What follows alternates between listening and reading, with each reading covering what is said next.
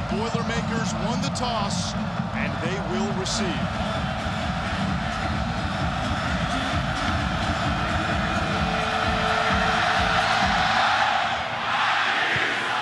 A line drive kick fielded by Horvath. Zander Horvath tumbles across the 20-yard line. It's a Purdue team that has been decimated on both sides of the ball by injuries. And on first down, hand it off to Zander Horvath for a short gain. This one needed an extra little Aidan O'Connell, the sophomore walk-on, throws incomplete for Milton Wright. It's third down. Just the third career start for O'Connell. Again, a sophomore walk-on. He began the season as the fourth stringer. Elijah Sindelar went down with a broken clavicle. Jack Plummer went down with a broken ankle. Nick Stipe retired from football with a bad back. And it's O'Connell now to shepherd this offense through this final regular season game. And he's played relaxed over the last couple of weeks. A big third down opportunity here in the opening series. Third down, O'Connell throws downfield. He's got Jackson Anthrop for a first down and a gain of a dozen. Relax, playing with poise, playing within yourself. What O'Connell does here on a big third down opportunity. Watch him slide just to get outside the pocket, away from pressure. A perfect pass on the run. And they move the chains in this opening set of downs. Anthrop motions, empty set on first down. Screen pass to David Bell.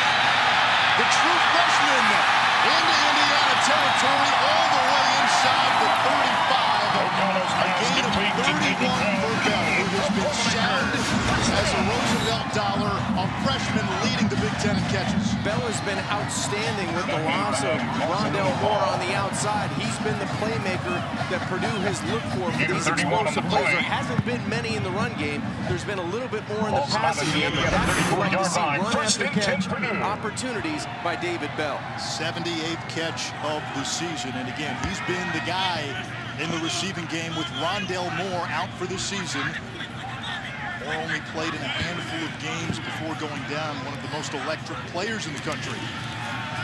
They thought about the flea flicker, and then Horvath just runs it for a gain of four. John, this is a Purdue offense, and sometimes they don't even try to run the ball because it's been so bad. But if they can get three, four-yard gains, that's something. Even the fake flea flicker, flicker actually freezes the defense, and it allows the run game to get four or five yards on first down. That's a huge win for the Boilermakers. Horvath again to the outside, lowers his head, and another first down for Purdue inside the 25. Khalil Bryant made the tackle from the safety position for Indiana. In a rivalry type setting, you come out with emotion. I think Purdue right now at home, knowing they're not going to a bowl game, they're coming out with a purpose in this opening drive. O'Connell with time, looking for Bell, and covered well by another freshman, Tiawan Mullen. That's going to be a fun matchup, not just today, but the next few years in this game. That's true. In the Big Ten, you have a lot of freshmen that are making their mark, and on both of these teams, you just mentioned Mullen on defense has really tight coverage on David Bell, who's been able to really create those big plays for a Purdue offense. And it's an offense that has been outscored in the last five games in the first quarter, 47 to 3. So it means something to get points on this opening set of downs. O'Connell steps up. Down the middle, intercepted. He was looking for Anthrop. It's picked off by Indiana. Ball comes out. But the defender was already down. Jamar Johnson, the interception in the end zone. And Indiana turns and promising Purdue drive into a turnover. Man-to-man -man coverage inside the red zone. This is where you have to make a play as a quarterback. This ball needed to be thrown away. That was perfect coverage in the back end by Johnson. And Indiana fends off an emotional Purdue offense on the opening set of downs. You're watching ESPN College Football as part of the Jiffy Lube Rivalry Series. All right. The sun died early on this final Saturday in November. Indiana football inside its own 10 after an interception by the Hoosiers. Peyton Ramsey, the quarterback, it's been an odyssey for him. Was not the starter when the team broke camp and opened up against Ball State. But he's taken over for the injured Michael Penix. first down. He'll toss it to Sampson James, who's close to the 20-yard line as we take a look at today's player spotlight brought to you by Exxon Mobil. Well, it's Peyton Ramsey, the quarterback. He's tough, he's efficient, he's a true leader. His completion percentage is terrific this season. His pass efficiency and the way he's played in big games, especially on the road at Penn State, I thought it really showed the character of a guy that's won his job back, not once in his career, but twice. He's put up big-time numbers in his last two road games. This is James again, a big-time recruit out of high school with his biggest run as an Indiana Hoosier brought down by Jalen Graham. And the running back stable a little thin for Indiana. Stevie Scott hurt last week against Michigan, out today. And they've got two changes up front. Caleb Jones goes to left tackle. DeAndre Love goes to right tackle. It doesn't matter for Sampson James, a guy that came into the game averaging just below three yards per carry, rips a big one off in his second carry. Indiana also without Matthew Bedford, their starting left tackle, second left tackle they've needed this season with Coy Cronk out. So Caleb Jones moves over from right to left tackle. And Devondre Love will start at right tackle as Ronnie Walker gets stopped at the line of scrimmage by Jaylan Alexander. And Anish, this is a defense for Purdue. They played hard throughout the season. They may not have got the results they were looking for, but this is a group that runs pretty well in the front seven and will challenge Indiana up front. Just not a lot of depth for Purdue. Markus Bailey, their best defender, is out. Lorenzo Neal has not played a snap all season on the defensive line. Cornell Jones is out. Against a three-man rush, Ramsey will run. He is into Purdue territory. It sets up third down. We told you that Purdue has had trouble starting fast. Indiana has not, as we have a flag at the end of the play.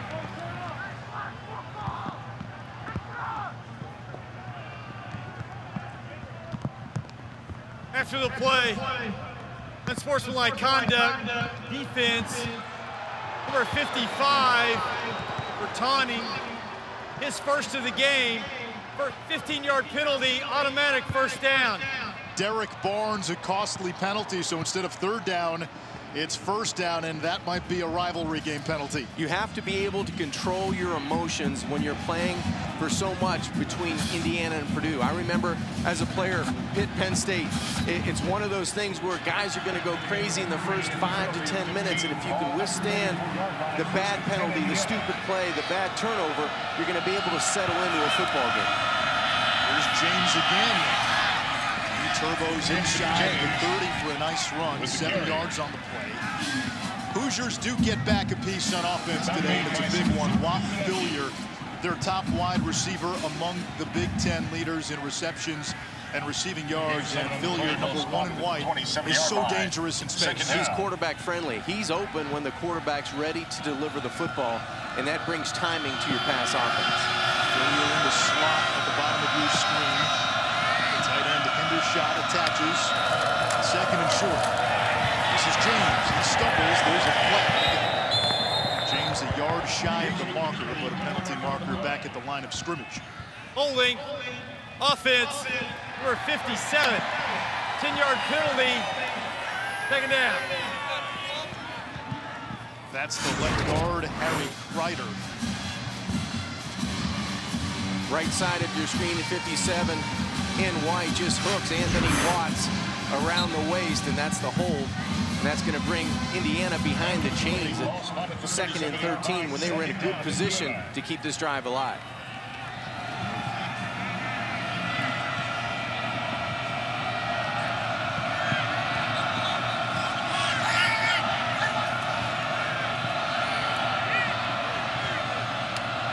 continues to come down. Ramsey thought about the toss. He'll keep it. Goes down at the 29-yard line and sets up third and five. Smart call by offensive coordinator Kalen DeBoer. Use your quarterback run because he's an asset. He can take some pressure off of the young Sampson James at running back, and you get into position where you have a manageable third and medium.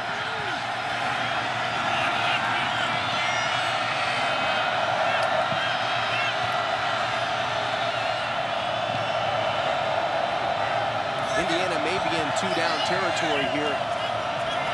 They may rely on the young running back. Ramsey faking the toss, and he'll move the chains for the Hoosiers. Barnes the tackle after a gain of six. That shows some resilience in your offense, in your football team, when you can come back from a, a penalty where you have second and 12, and you're able to have two successive plays that you stack together and get back in a position where now you're in scoring, you're in the scoring zone. Indiana has a 13 to 15 play play bank that they come out of the gates with. And it's the plays that they run best. That's why they've been so good on their opening drives. Here's the tight end, Peyton Hendershot.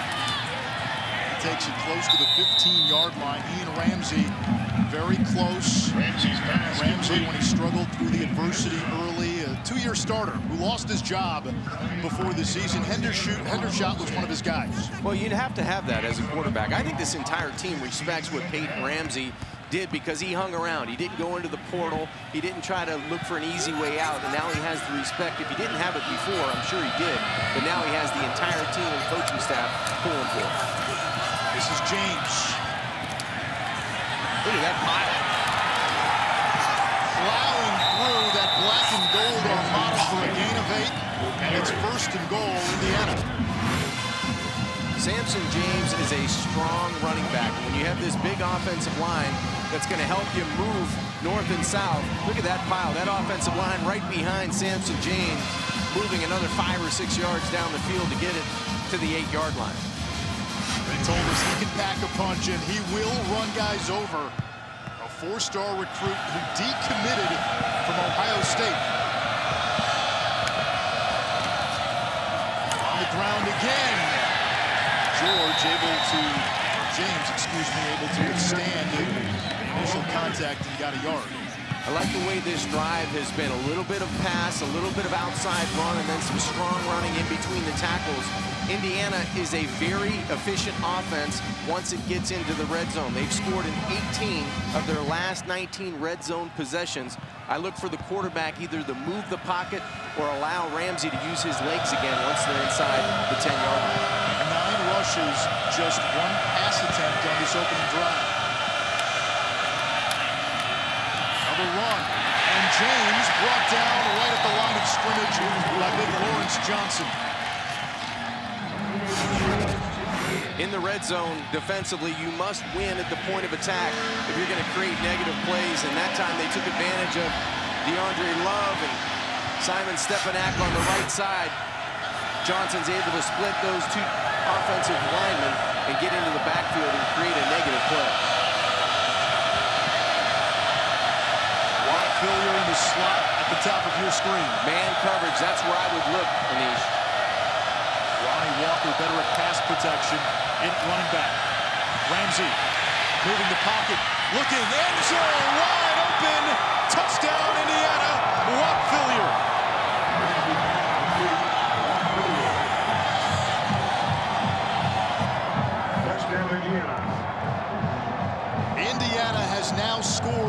Its opening possession in seven consecutive games and nine times in 12 games this season. And it's man coverage, and I think the time bought by quarterback Ramsey in the pocket, you just lose sight of the one guy you can't miss. You can't misidentify, especially in the red zone, and that's Philyor.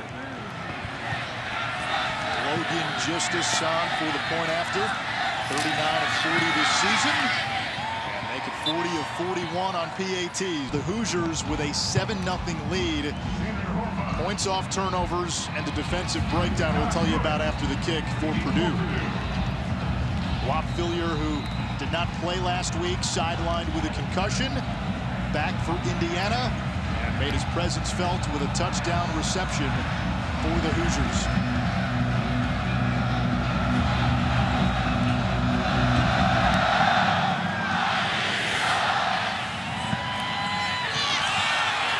Purdue will take it out at the 25. What happened defensively for Purdue on the last touchdown? They wanted man coverage, did the Boilermakers on defense, but Navon Mosley's in the slot over the guy you cannot allow to run free. He plays a zone coverage in man coverage, and you can see his teammates looking at him after the play going, hey, Mosley, what are we doing here? You're covering grass. You need to cover Phil. You're one of the most dangerous players on the field, especially in the in the red zone. So that was just a complete defensive breakdown in a critical on a critical play. You show up to take a Spanish test, and it's calculus. I, have done that. Check, check that box. Aidan O'Connell will throw on first down. It's caught by old reliable Brycen Hopkins, the tight end, only a yard. Devon Monster Matthews, the stop. Hopkins is one of those players that you have to depend on to have a big game. Even in this sloppy weather, he's going to have to make those tough catches in between the hashes and in between the numbers for Purdue's offense to have some consistency today.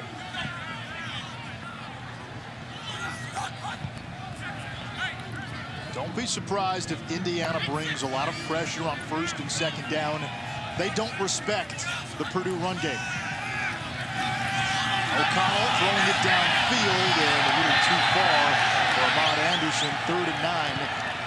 Right now offensively for Purdue, the goal is to get the ball to number three Bell and 89 Hopkins as often and as many times as you can. Well, you want to be able to win on first down if you're Indiana, especially if Purdue decides to run the football.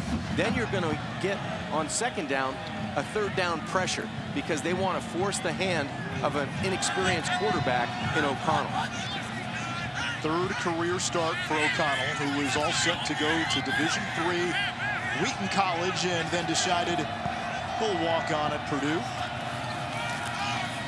O'Connell flushed under pressure, gets away from McFadden, throws on the run, and nobody home. O'Connell took a big hit back at the 10. Multiple flags are down. That's going to be another emotion mistake on defense this time for Indiana. And O'Connell grimacing. O'Connell did a great job of escaping pressure. Boy, I don't know. That wasn't, yeah, anytime, anytime the quarterback Two fouls on football, the defense. Holding, defense number nine. That penalty's declined. Personal foul, roughing the passer. Defense number six. 15-yard penalty automatic first down. I think anytime you're a defender and you're close to the quarterback and that ball's released, you have to have the mental discipline not to touch him, not even push him to the ground. I know the hit wasn't severe and I know it didn't look uh, all that vicious, but it's a penalty in 2019 if you if you do that as a defender. So instead of punting, Purdue gets new life and it's first and 10 from the 41. King Doerue, the true freshman running back, is in the game. O'Connell's pass is tipped the hands of second and 10. And that's another example of Indiana creating pressure at the line of scrimmage on first down with man coverage behind it and tight coverage on Brycen Hopkins. That's what they want to do. They want to make it difficult on the semifinalists for the Mackey Award at tight end for Purdue today.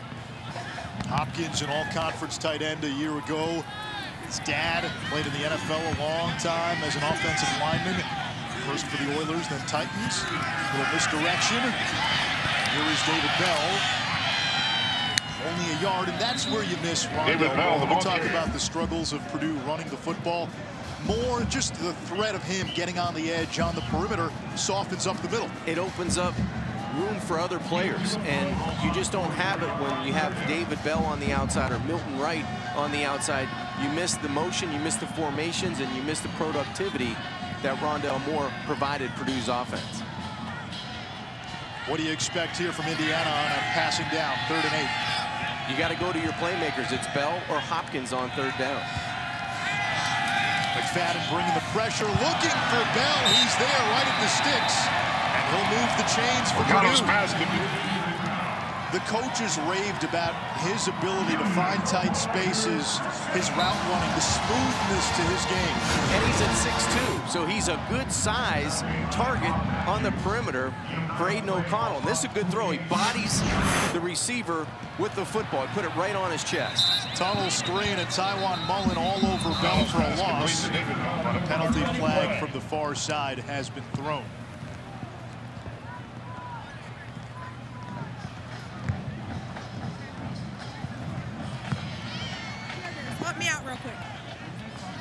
It'll be against Purdue.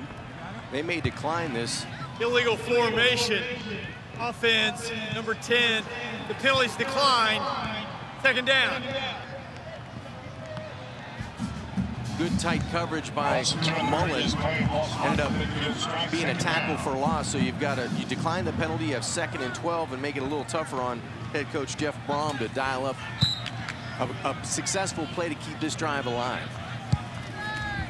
O'Connell looking for a slot man. It's incomplete. He wanted Anthrop. Third down, and we check in for the first time with Kevin Connors.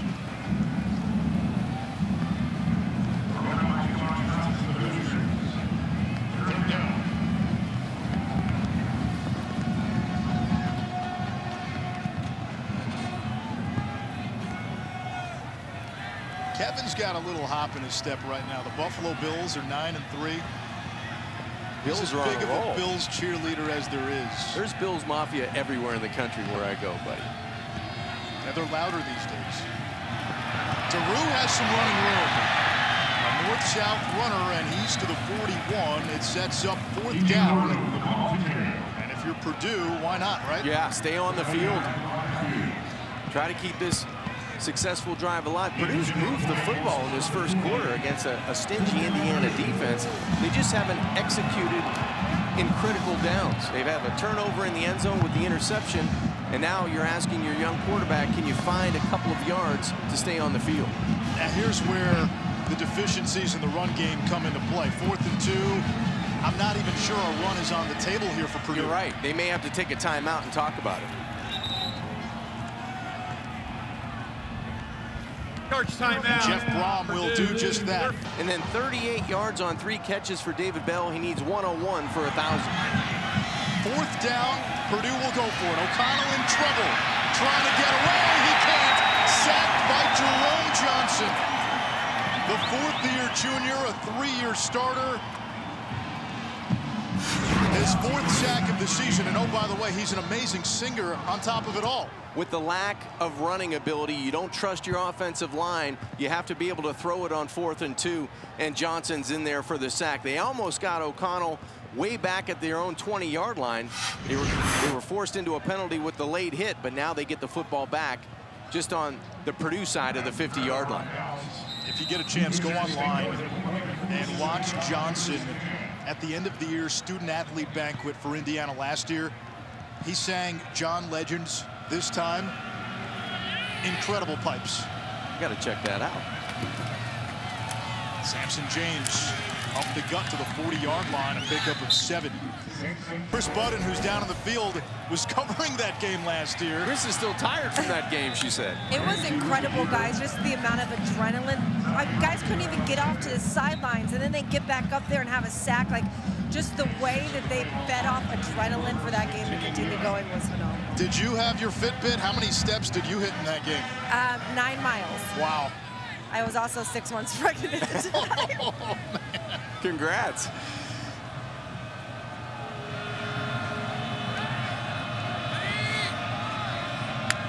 First down run by Ramsey, this is Ronnie Walker.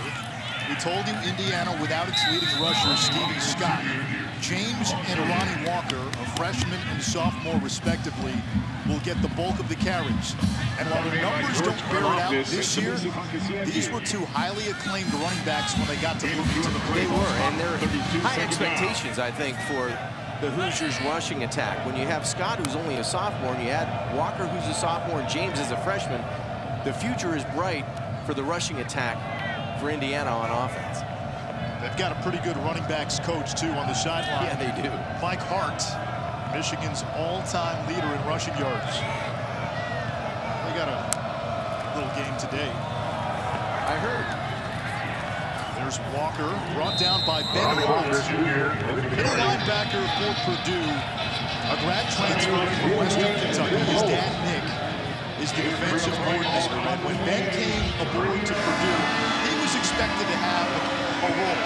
He's turned out to have a huge role, second in the Big Ten in tackles, and with all the injuries, boy, Ben Holt has been a godsend. Congratulations to Ben Holt because he's a guy that came and got to play for his dad, and now he's trying to make big plays in a huge game for Purdue. Now, none bigger than third and four, trying to stuff out the run of Indiana. Purdue getting lined up. Ramsey will throw. He's got Philyor. Philyor has the edge and scampers out of bounds.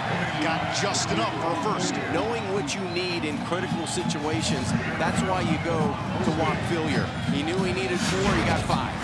Good, good throw, good accuracy on the edge by Peyton Ramsey on a tough day to catch and throw. He's able to make an accurate throw and let his playmakers do the work. And that will be the final play of quarter number one. Indiana has come out running the football. Rob, John Congemi, Kris Budden with you from West Lafayette, Indiana. Regular season finale for Indiana and Purdue. The old Oaken bucket on the line. And the Hoosiers threatening inside the 25 of the Boilers. To the outside, Hendershot, the tight end. Out of bounds near the 20-yard line. Ramsey's pass complete to Peyton Hendershot. It has been a run-heavy approach from Indiana, and the rain could be a big reason why. Weather and success, that, and I would put it in that order. The weather is dictating what you can do throwing the football, and the success Indiana has had rushing it, why not? I would stick with it using that big offensive line. And the young runners have been spectacular so far. Here is Ronnie Walker now in the backfield. Ramsey will keep it. Ramsey has an opening. First and goal for Indiana as we check in with Kris. We were talking about the rain. You can already make a difference on the field conditions where I'm standing. You start to see some divots. I've also seen the Indiana wide receivers have to change gloves as well. Something to watch for as this game continues. You can see there are some divots on the field. Getting patchy at certain spots. James back in there. From the eight, James to the five. Already a career day for the freshman from Avon, Indiana. 65 yards on the ground, his previous career high 36. Not a lot of hesitation with Sampson James. He's very decisive as a runner. He sees a hole or a crease, he's going to get north and south with some power and move the pile. Just a terrific job so far through a quarter and a couple of plays in the second. He was a part of what's been billed as the best signing class in school history. This crop of freshmen. Little pop pass. It's David Ellis. He's got some speed. Trying to get to the outside and brought down from behind by Navon Mosley, who had the busted coverage early. And I thought maybe a horse collar? I, I, thought so as well. It looked like that was going to be a penalty as Ellis gets to the outside. You get that nameplate, but if your hand gets inside, really thrown to the ground. So no call by the official there. It looks like the hand is still on. Boy, that's a that's Awfully a questionable. Close. That's a questionable one. You could have gotten a flag there easily. Not one you can review either. It's third and goal. James. And he'll be marked down just shy of the end zone. Fourth and goal, and if you're Indiana, you go for it? Absolutely. You get on the line of scrimmage, but I'm not so sure he broke the plane. That would be a reviewable play. All scoring plays or plays that are in question. I, I thought he broke the plane with the football initially. There is a question. That is a reviewable play.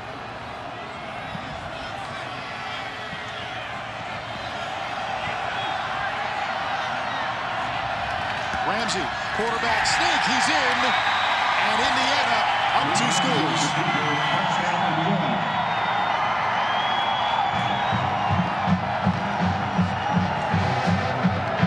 That's a statement drive by the Hoosiers and their redshirt junior quarterback, Peyton Ramsey. He did everything on that drive. Orchestrated the passing game, was able to get into the end zone on the quarterback sneak on fourth and goal. He's been efficient through the air. And they've run a number of plays, 12 plays on their first drive, 11 plays for 47 yards, taking advantage of what the defense provided and taking just over five minutes off the clock to extend their lead. Tom Allen's Hoosiers 7 and 4, and a lot's been made of the soft schedule. But Indiana's beaten the teams that they're supposed to beat for a team on the ascent. But it was the loss to Penn State where nationally a lot of folks looked at Indiana and said, you know what, these guys can play. They woke up, and they went there to play Penn State with the intention of not losing a good game by seven points, but they were one play away. The fake punt that didn't go their way, I, I felt turned the football game in the direction of Penn State. I think Indiana played toe-to-toe -to -toe for three-plus quarters with a very good football team, and I think that, that shows the type of toughness and execution they can play with. Short kick. Horvath from inside his own five. Across the 20, in the rain to the 25. Ohio State looking to be that number one seed in the college football playoff final rankings. They'll get the winner of Minnesota and Wisconsin in the Big Ten Championship. Minnesota-Wisconsin playing today as Horvath loses a yard.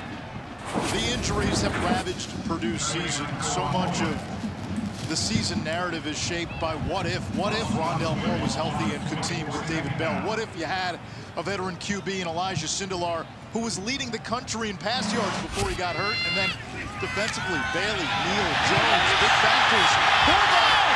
That's the longest Purdue run of the season, and he's inside the Indiana 30, tripped up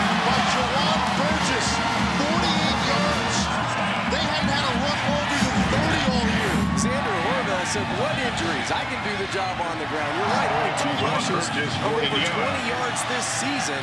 And now you break out the ball deep in your own end, and you have instant field position inside the Indiana 30-yard line. Just a, a really explosive play on a team that's looking for those types of players to emerge.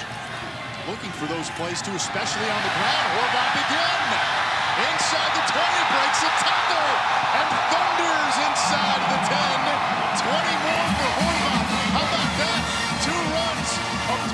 plus on this drive, and two runs of 20 plus in the first 11 games. These are the types of plays in a rivalry-type game that you make when you're looking up at the other team and you want to have an answer with just over 11 minutes to go before halftime. This would mean everything for Purdue if they can now finish. They've been in this position before. They have to finish this drive with six. They'll try Horvath again, and he is squeezed right at the nine.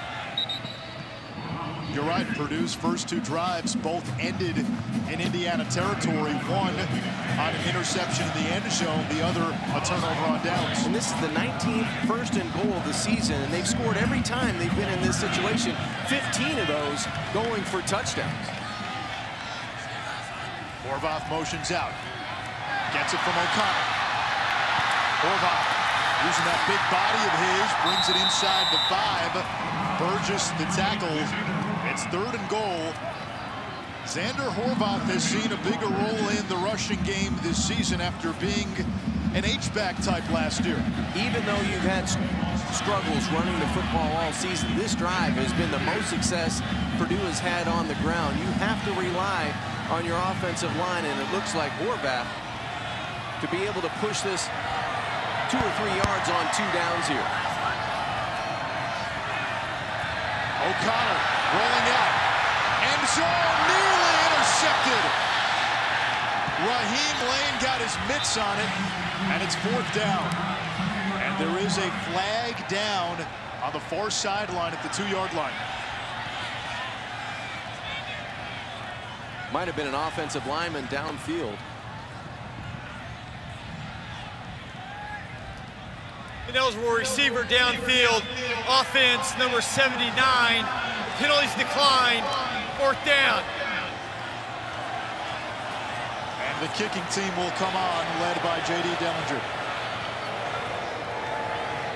Anish, you talked about finishing, and those are the types of things that lead you to a 4 and 7 record. When you're struggling, you make some big plays, but you just don't have enough talent or execution at the time to finish. Dellinger perfect inside 40 this season.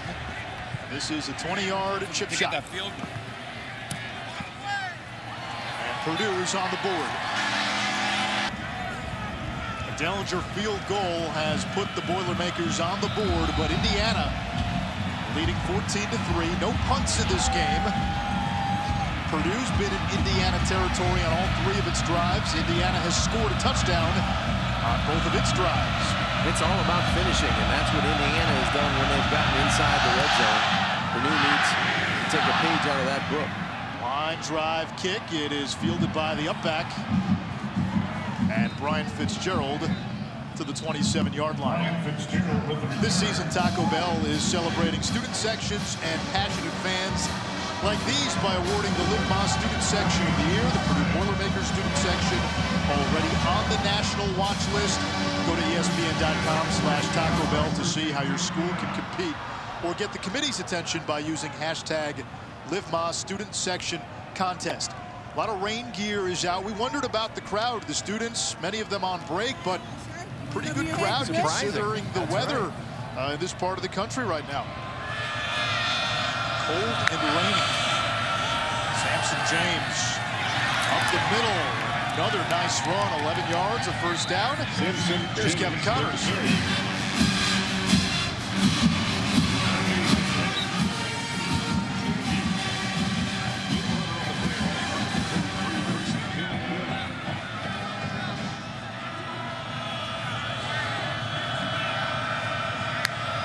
close. James met by Ben Holt, who leads the charge to drive him back. Uh, Chris, that's the coach's son, and it's not all candy and sugar playing for your dad, right? Yeah, you want to come play for your dad, and you're going to get an earful when you're not doing what you're told to do during uh, after that last goal line, the fourth and goal. The defense coordinator, Nick Holt, knew exactly where Peyton Ramsey was going, and he couldn't get his guys lined up. Ben comes over, he's giving him an earful. That was so obvious. Why couldn't you get lined up? Dads are tough, especially if they're your coach on the defensive side of the football.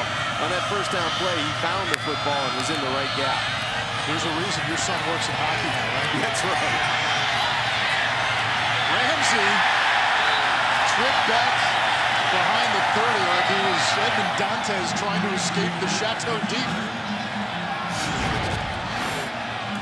That might have been the first time that the field was a factor in cutting. Ramsey goes to his right, no room, all Boilermakers in black jerseys. And there you see the turf just give as he's giving ground to get around the edge. He was trying to get to that Indiana sideline, but a big loss on second down. Now third and 14.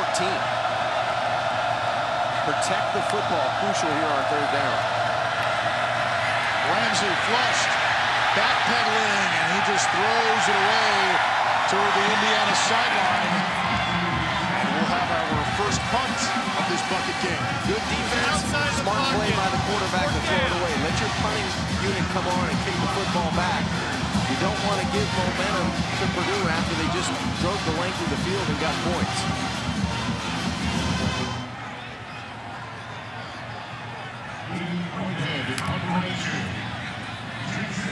Hayden Whitehead, the 24-year-old Australian, a left-footed kicker, averaging 42 a punt. Fair catch is signaled for by Jackson Anthrop. He lets it bounce. It dies on the wet turf at the 25, a 46-yard kick. Purdue ball, 7.47 to go in this opening half. Purdue with the football after the first punt of the game.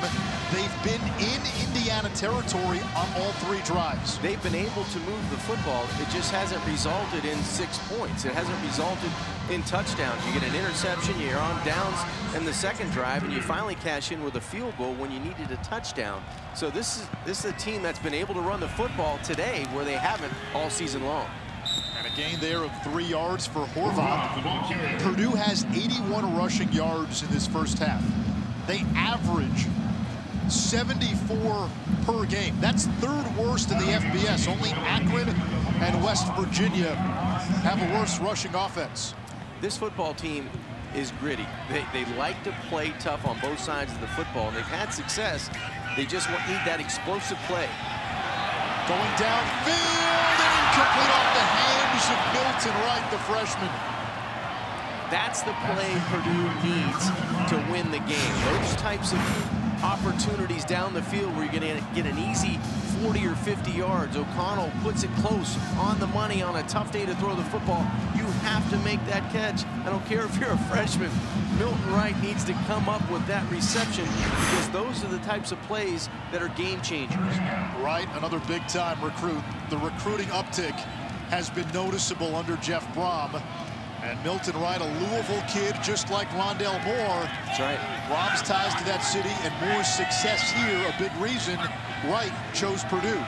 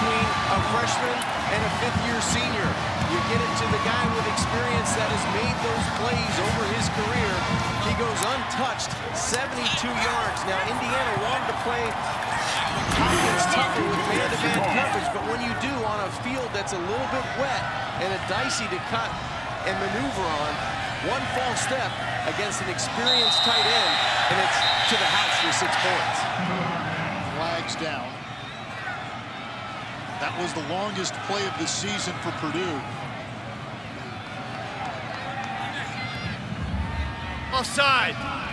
Defense, number 87, made contact. Half the distance to the goal. Repeat the try.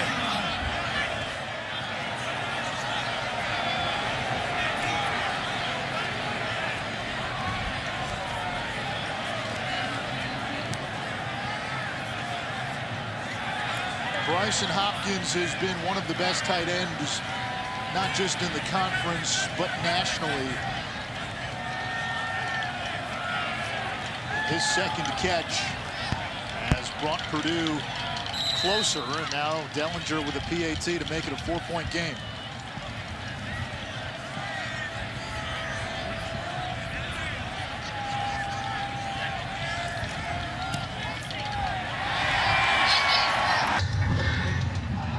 Fourteen ten, Indiana leading Purdue with a bucket game. Brycen Hopkins' a 72-yard touchdown catch, pulling the Boilermakers closer.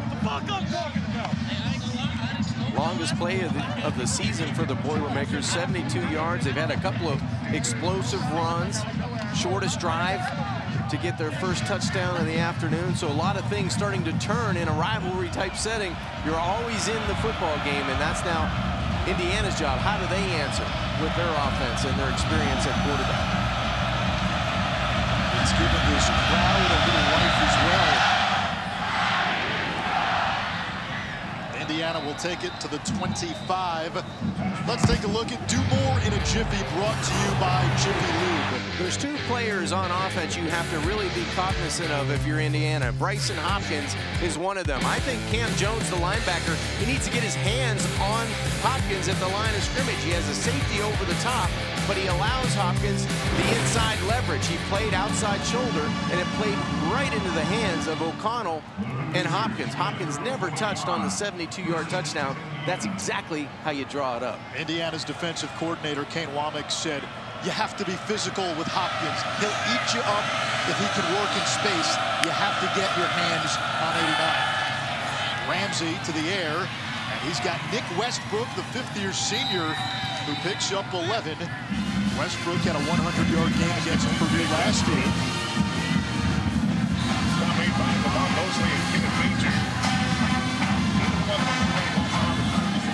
First and 10 Indiana. Westbrook's one of those guys that you have experience on the outside. So you got the playmaker, fill your back in the lineup, and you, you have a reliable guy on the other side. Ronnie Walker into the secondary. Walker thunders into Purdue territory, 15 yards for Walker, his longest run of the season. This is exactly how a 7 and 4 football team should answer. They come back with an explosive play through the air, and they move the the line of scrimmage off the left side with Caleb Jones and Harry Crider providing some running room for Ronnie Walker.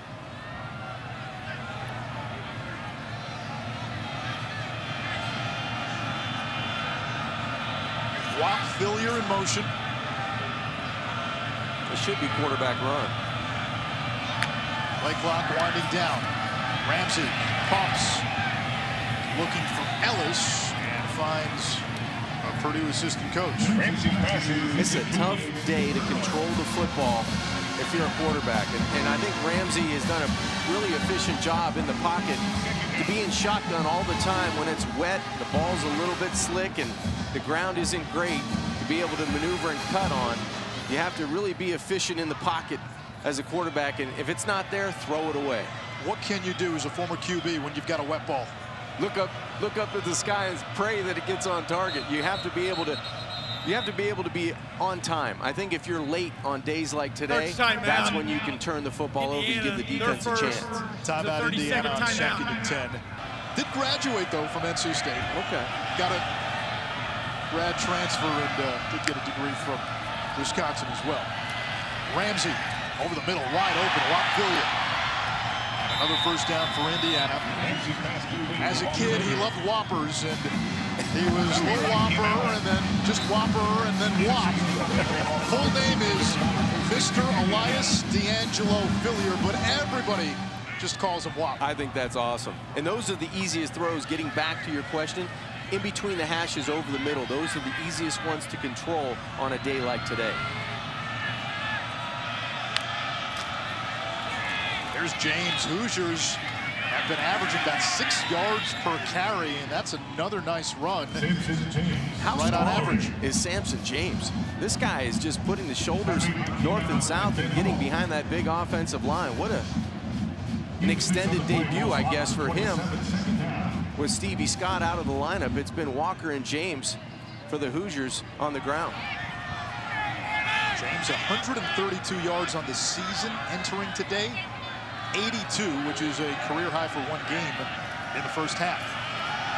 Ramsey will throw it back to his tight end, Hendershot. Slips one tackle. Hendershot inside the 10. Still on his feet. And takes it down to the three-yard line. A gain of 24. Peyton to Peyton.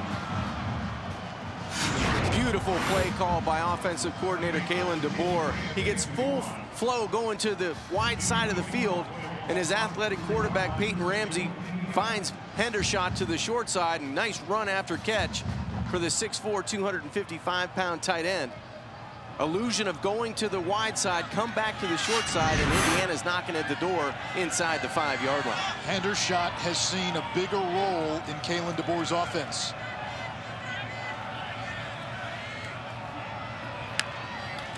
Middle blitz, James second and goal. Good play by Johnson. Lawrence Johnson, that nose tackle right in the middle of that Purdue defense. He's able to get through and create penetration on first and goal. He's a big body, only a redshirt fre uh, redshirt freshman. We talked about the youth on Purdue with all the injuries. That's another player that has a bright future for the Boilermakers. And he's getting some time there this year because Lorenzo Neal, who got hurt in this game last year, has not been able to suit up all season.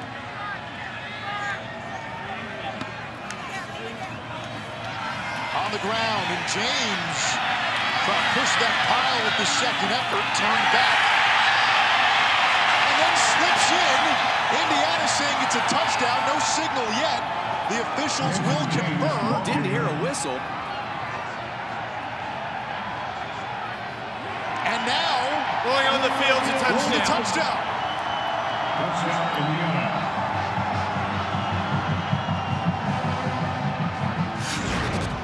Like the gopher in Caddyshack. He went under, then popped out into the end zone. Well, we were waiting for a whistle, but credit Sampson James and the offensive line again pushing the pile until he could break free and find a way into the end zone. That's just terrific effort by a freshman running back and smart by the offensive line to get behind that offensive push to get him into the end zone. That's their third trip into the red zone. Three touchdowns today for Indiana. There was no whistle, like you said, and he never went down. It is a touchdown for James. The third of the season for Sampson James. Point after is good by Logan Justice.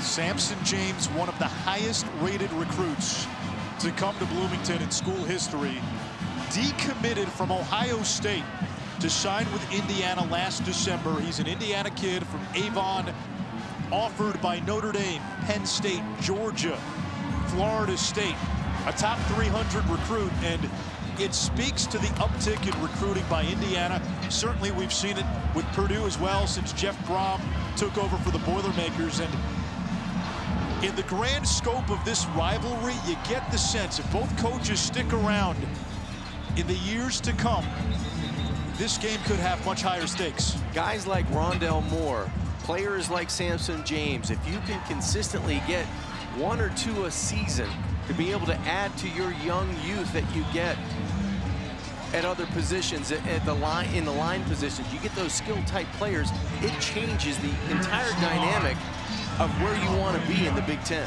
What's the value of a high school running back looking at Indiana and seeing that Mike Hart is the running backs coach? I want to play for one of the guys that's done it at the highest level. And you you can go back, and it's not that long ago. You can go back and, and research that on your own and, and watch it at Michigan when Hart was a running back. He's the guy that's going to be your mentor. Why not? I want to be on that team. Horvath from the four. Taken down shy of the 20. I don't see a flip-flop between Ohio State and LSU if both went out. I will say this, nationally we fixated on the Clemson close win against North Carolina. Look at the scores of Clemson's games since. They've destroyed people. And a gain of four on first down for Purdue. Do not sleep on the Clemson Tigers. I, no one's really even talking about them, and that's scary because they are loaded. They have the experience of winning championships, playing in big-time games, and I think we did put a little bit too much onus on a loss on the road where, hey, you're going to, not going to play at your level, at that top level every week. Low throw, incomplete for Anthrop. Third down coming up. And it was a win against North Carolina. Ugly Right. win, but a win. Right. And if you're looking at all the data points, that's the outlier.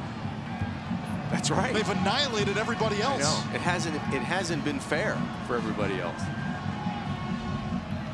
Trevor Lawrence, by the way, did get off to a slow start this season, but he has been lights out down the stretch.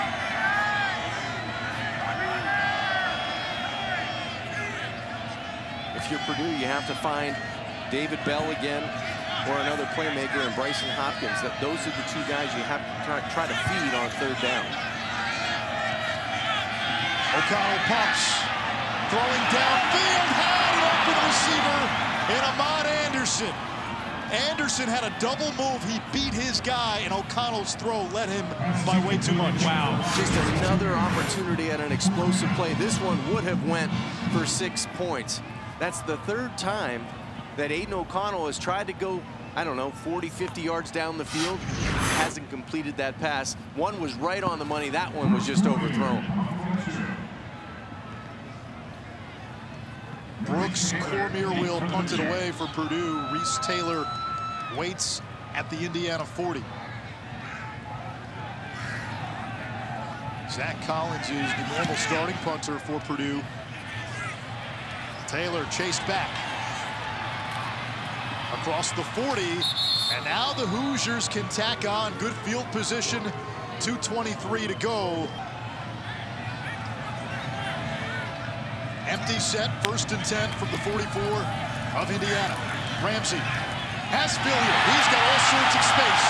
Philyor accelerating inside the 20 in Indiana in the red zone.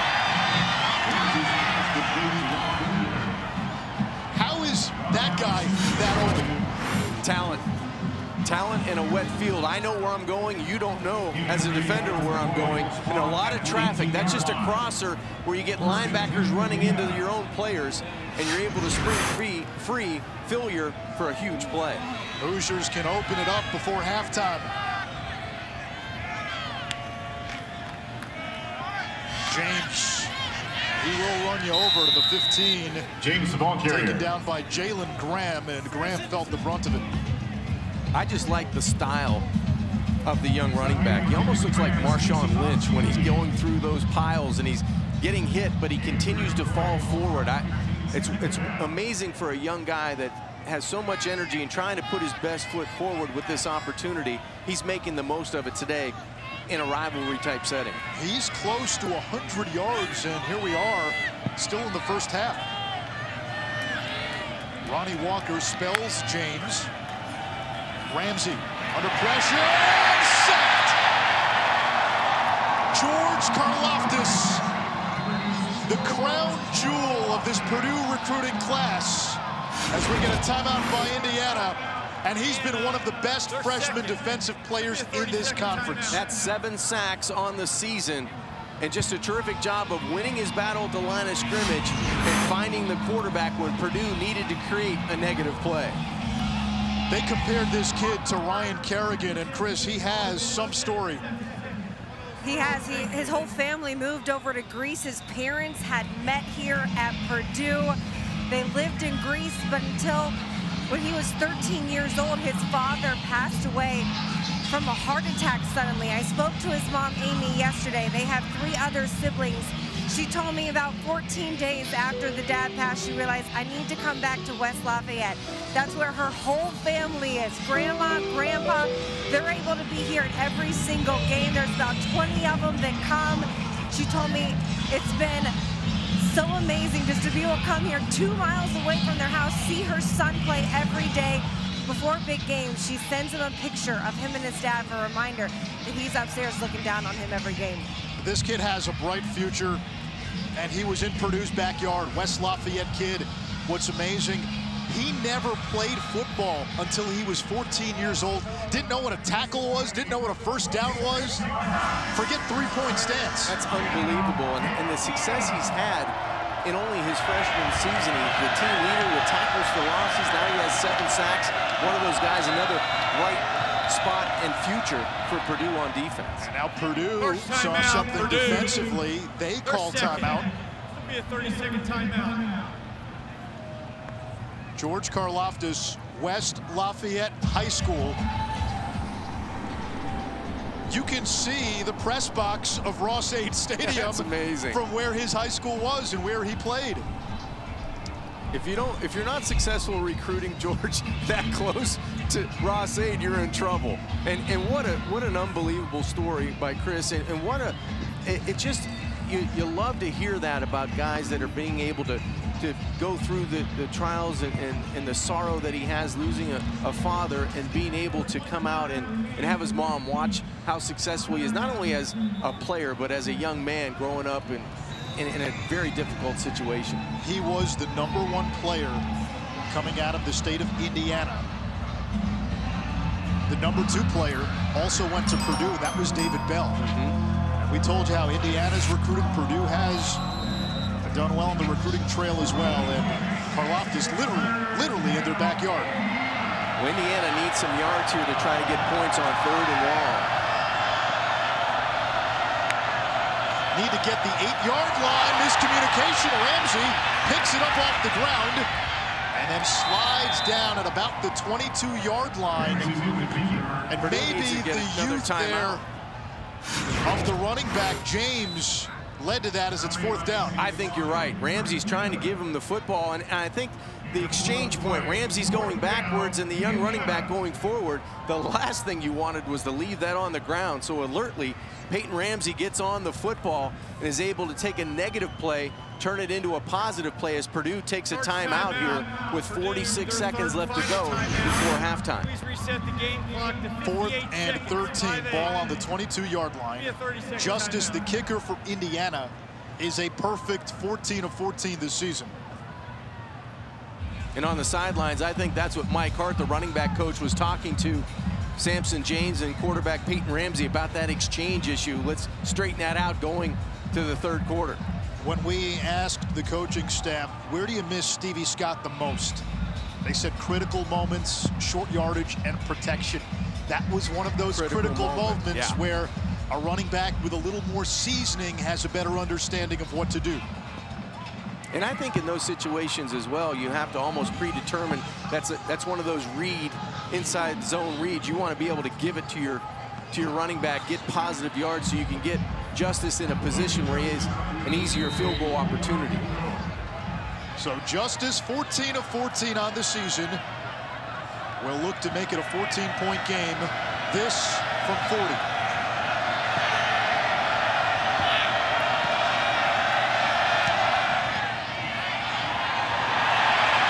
And for the first time this season, with a little wind blowing, Justice misses wide, and Indiana comes up empty. And a little wind blowing in the sails of Purdue right now as they head to halftime. They still have an opportunity to score points with 54 seconds left in the first miss of the season. That's a huge win for the Boilermakers on defense. They come up and take advantage of a, of a fumble on third down. Don't allow Peyton Ramsey to make a big play and they get the miss on fourth down. Guys. Down to Kris. I was watching Justus pregame, and this was the direction that he was struggling, anything from about 35 plus yards, because of the way the wind is blowing from right to left. Purdue now with less than a minute. Hopkins makes the catch and tackled immediately by Andre Brown, fifth-year senior out of Georgia. Clock continues to run. Let's see what Purdue does. Boilermakers out of timeouts. O'Connell downfield. Bounce, and Justin makes the catch. Wow! He slipped, fell, and still adjusted and caught it. How athletic is David Bell? He jumps off the turf for the huge play. Clock is started now. O'Connell has Anthrop, that was a mistake. He should have thrown that ball you away. spike it right now. You have to spike the football. Clock running, 10 seconds. And O'Connell will spike it, nine seconds. The ball at the 37-yard line. Sports Center top 10. Here comes David Bell. Off the mat, what a grab. He tracked the football the entire way it looked like Mullen was going to make the interception, but Bell ends up making the reception and keeps the drive alive before halftime. This is a kid who has three games this year with at least a dozen catches.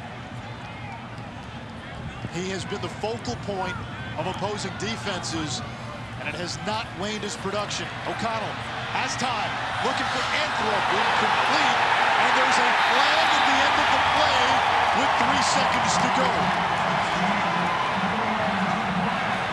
Marcelino ball on coverage, and Purdue could have a chance for three. Well, that's going to give them enough enough yardage on Pass the penalty. interference, defense, number nine, 15-yard penalty from the previous spot, automatic first down.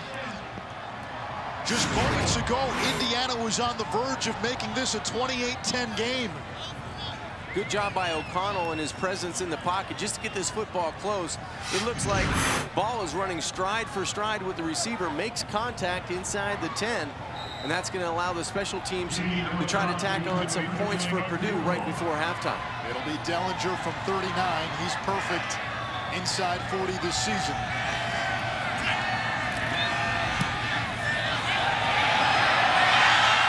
And his kick is no good. So two missed field goals by both kickers right before the end of the first half.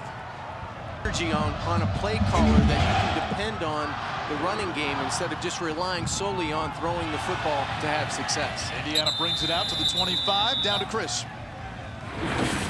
Coach, how has the wind and the wet weather made a difference in what you're able to call today? Well, it definitely is a variable, but it obviously affects both teams. You just got to be able to protect the football. You got to keep running the ball. It's a big part of our plan, and we got to keep executing. We've seen Purdue's had some explosive plays. What will be important for your guys to remember for this last half? Well, eye discipline. You know, we just had some mistakes there. Third and long, you can't give up that kind of pass. You know, we uh, just got to execute better on defense. Can't not give up the big plays. We got to finish. Thank you, Coach. You're welcome.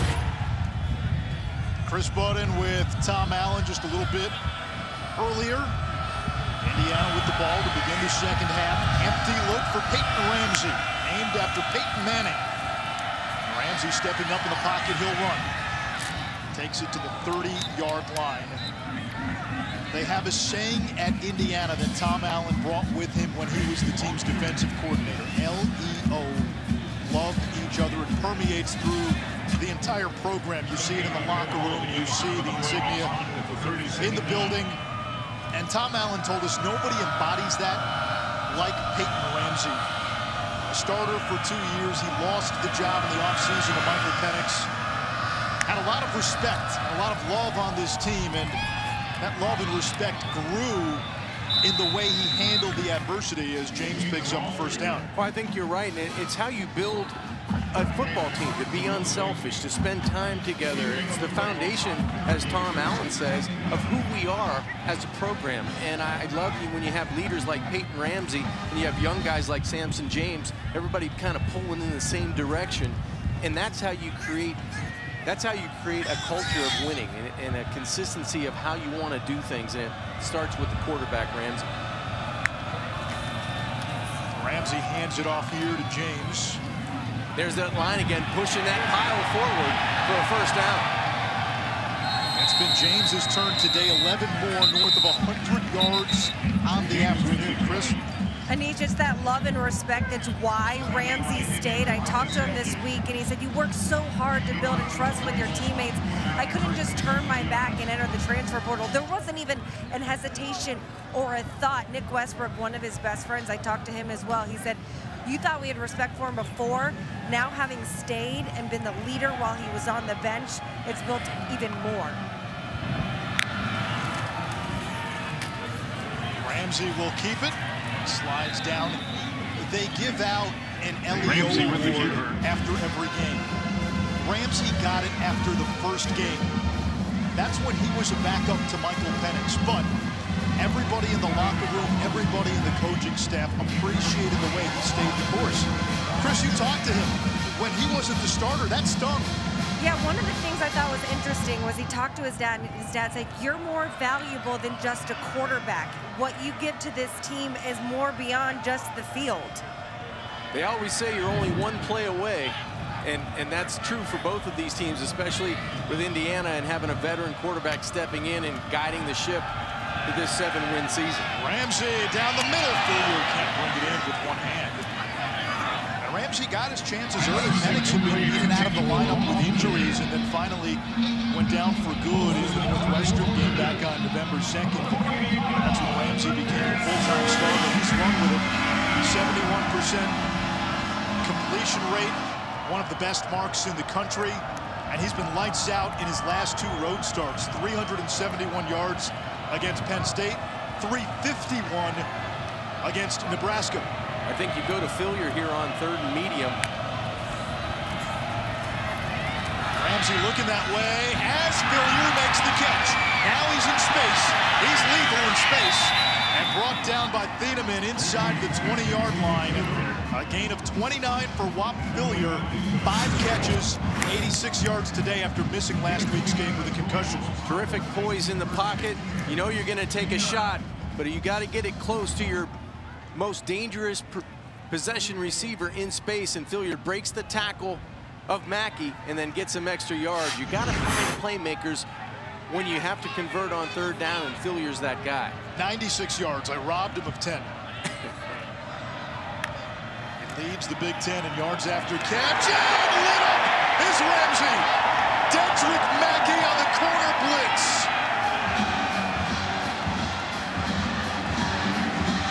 The answer Purdue needed on defense. Mackey missed the tackle on Philyor the play before. He comes on the short corner blitz. And luckily, Peyton Ramsey hangs on to that football. That ball almost comes out on the hit. Remember, Indiana has some changes to its offensive line. Matthew Bedford, the left tackle out. So Caleb Jones moving from the right side to the left side. And you got Devondre Love moving into the starting lineup at right tackle. And I'm sure if you ask Peyton, he would tell you, that's my guy. I missed him. Play game. And now a delay of game. Five-yard penalty. Second down. So a promising drive again stalling here in the red zone for Indiana. They get into the red zone with Whop Philyor, a sack, and now a penalty, and you're looking at second and 22. And these are the types of plays that turn games.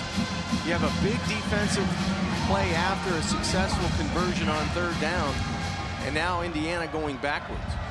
And the wind is really starting to pick up, so field goals may be out of the question now. Ramsey under pressure again and brought to the ground. Karlaftis got his mitts on him first. Derrick Barnes finishes it. Now the ball all the way back at the 34, and it's third and improbable. And Ramsey slow to get up after those sacks.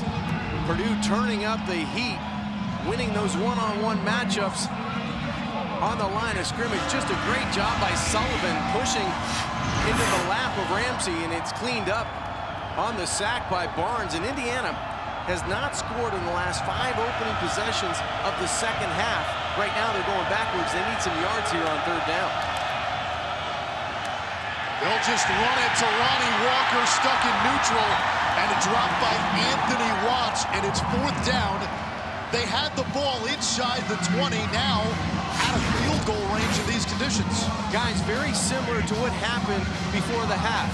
You felt like Indiana was going to go down, tack on an easy touchdown. They miss a field goal, and now they go backwards on three consecutive plays after it looked so promising coming out after halftime.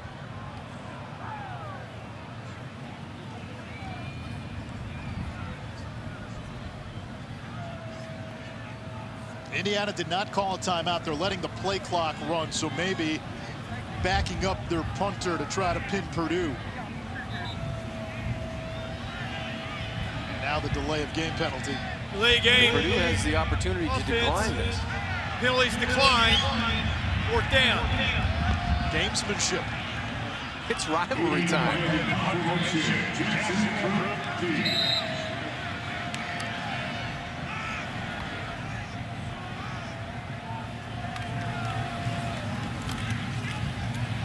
Whitehead's punt on the wet turf, rolling. And I think that got into the end zone. It did for a touchback.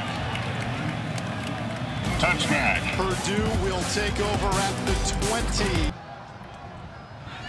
It sounded like a good idea this morning. Zander Horvath. And he's close to 100 yards rushing. Looked like the ball might have popped out. Indiana says they have it. And the Hoosiers do.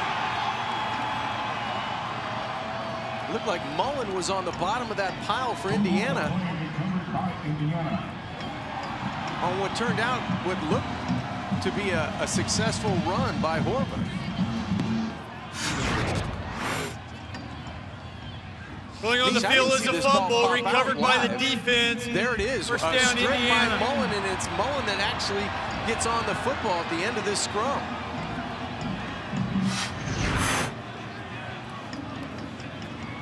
What a terrific aggressive play by the freshman corner out of Fort Lauderdale. I believe there's seven players from the state of Florida on defense, maybe? Seven starters. Starters. Tom Allen was a high school coach in Florida, and getting Florida talent is a big part of his recruiting plan.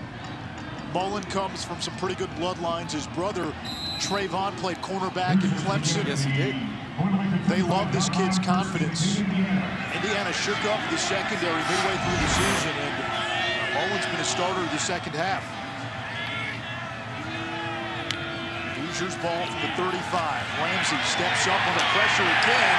It's been a steady pass rush from Purdue, and Derrick Barnes has his second sack. The last four offensive plays have really been negative plays for Indiana in terms of being able to drop back, protect, and have some success. we were talking during the break, maybe Indiana should go back and just run the football the old traditional way, try to get some points out of this promising field position.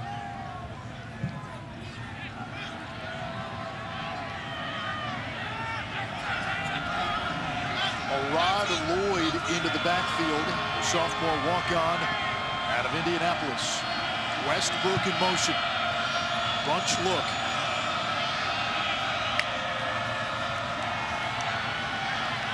Ramsey over the middle. Completes to Westbrook right at the marker, and he appears to have enough. That time, defensive coordinator Nick Holt decided to only send three. The pressure's been really confusing Ramsey in the offensive line. This time Purdue backs off. Ramsey has all day to throw, and he's able to find a receiver to have success. 11 out of 14 today. I'd like to see, I'd like to see Holt go after Indiana offensively. That's where they've had success. Let's see if Purdue brings pressure again. The downs have not mattered right now. Failure again, getting man-to-man -man coverage. Here's the blitz. Ramsey gets rid of it going downfield.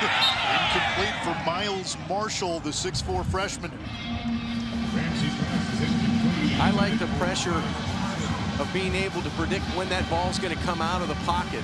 Anytime you give Peyton Ramsey that much time to survey and ha have his receivers have time on a slippery surface, it's advantage offense. And again, the way the wind is blowing, you don't really feel comfortable right now with your kicking game for both teams. I agree. Even though both kickers have been solid all season. Ramsey gets rid of it, threw it behind Philyor. Even that ball seemed like it was blown down to the away from the receiver, and that, that wind is coming off of the Indiana bench, blowing towards the Purdue sideline. John, is this four down territory? It could be. I, I don't think this is a, a, a, situation where you want to depend on three points or an opportunity for three points. I think you may be in four down territory here.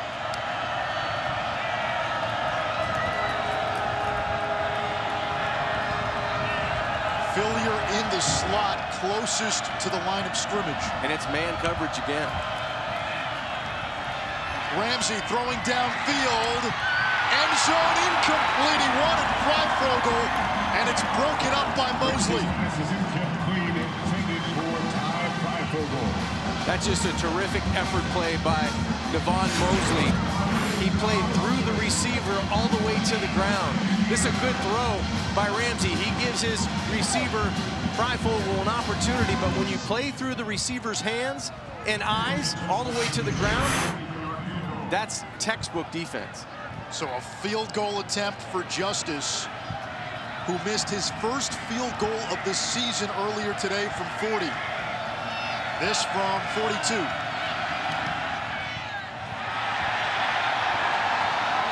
And he missed that one. And this is not all on the kickers. The conditions are a big variable today. Three missed field goals today, two by Indiana and Logan Justus, who was perfect on the season coming into the game as King Doerue is dropped for a loss. Kris, yeah, give us an idea here about the conditions. Well, the wind right now at about 12 miles an hour. When I talked to the coaches before the game, both said they need about a 10 extra yard cushion when you're kicking against the wind. I've also been down here watching Justus warming up right now. They have a hard time because of so much rain on the sidelines. It's been so muddy that they can't even really warm up very well. O'Connell's got all day. Doerue is wide open. Lost the football, but they say he was down at the 46-yard line. Reese Taylor with the tackle, a gain of 23. John, I think what Kris is telling us, that means the coaching staffs have to rethink offensive play calling and strategy once you get into scoring range. You get inside the 40. Boy, you it's really, four down territory. It's well, got to punt be. the football and just make him go 80 or 90 the opposing team. Because the way the defenses have come out and played in the second half, points are going to be hard to come by. You want to play field position and you want to be smart about your your four down opportunities. Both teams missed field goals right before halftime. Indiana then just missed one Tom Allen's team, though, has an 11-point lead. A chance to get to eight wins today for the first time since 93. School record for wins is nine. King true freshman from Amarillo, Texas, sets up third and manageable. With Purdue having some success on the ground, this third and very short is an opportunity where they don't have to solely rely on throwing the football. They can think about using the run because they've won some at the line of scrimmage, moving Indiana off of that line. Brycen Hopkins, the tight end, is in motion. Purdue keeps it on the ground. Doerue is going to be close. I think he's going to be just shy of the first down. Where the linesman on the Purdue sideline is walking in, I think it's just short of a first down. It looks like Purdue's going to go for it if they're short. They will measure. You're Purdue. You're four and seven. There's nothing to lose. No, you roll, you the, roll dice, the dice right? here. Absolutely. As good as your defense has played coming out after halftime and, and right before halftime, yeah, it's a, it's a definite opportunity to go for it here on fourth down. It's going to be about a half a football to a football short, I believe.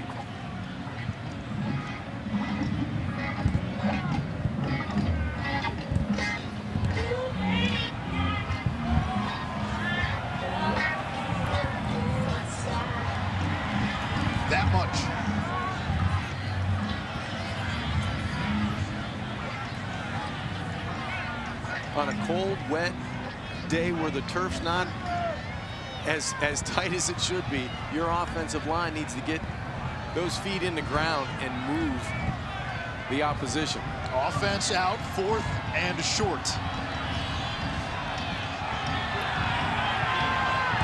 O'Connell under center.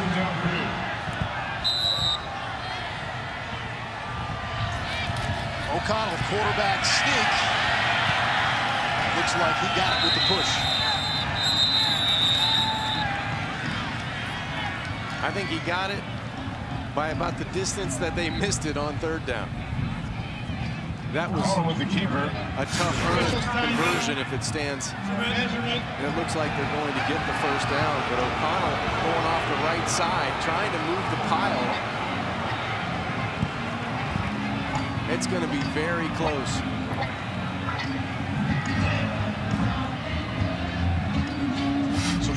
Measure once again. I agree with head coach Jeff Brohm. I think this is a poor spot by the officials. It looked like O'Connell got to the 44-yard line. Now you can challenge the spot when a first down is in question.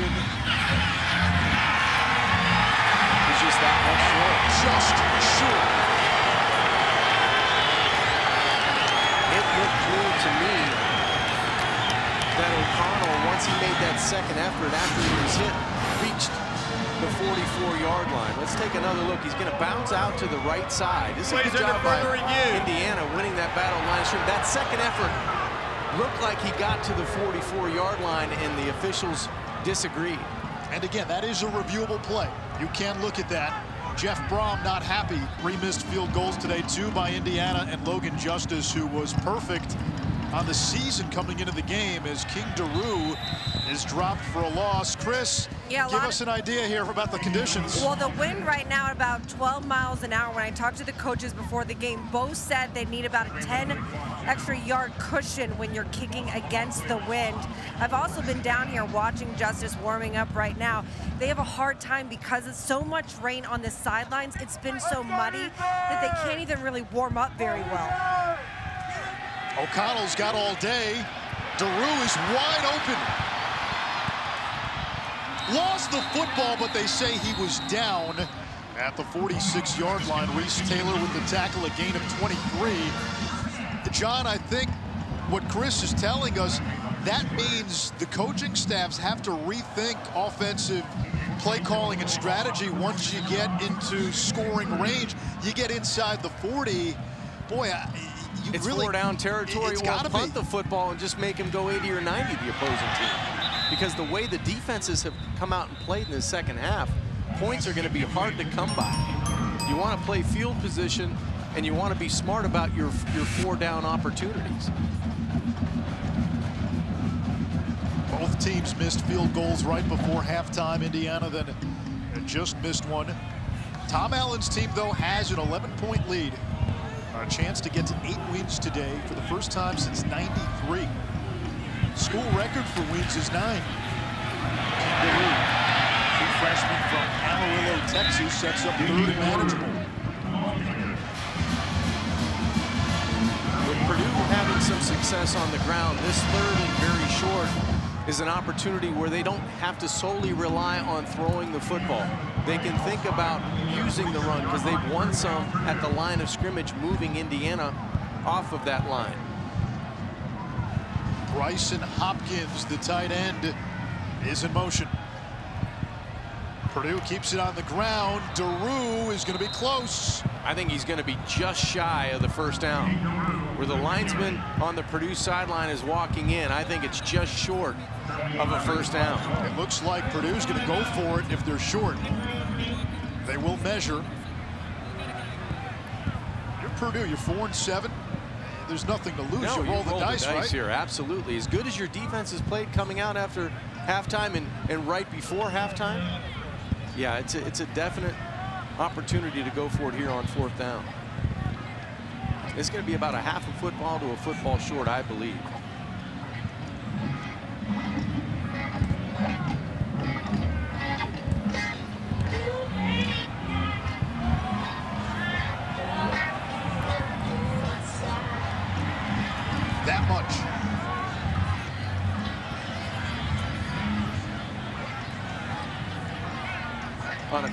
Wet day where the turf's not as, as tight as it should be, your offensive line needs to get those feet in the ground and move the opposition. Offense out, fourth and short.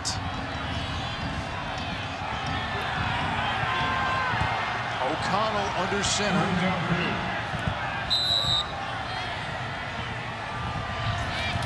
O'Connell, quarterback sneak. Looks like he got it with the push. I think he got it by about the distance that they missed it on third down.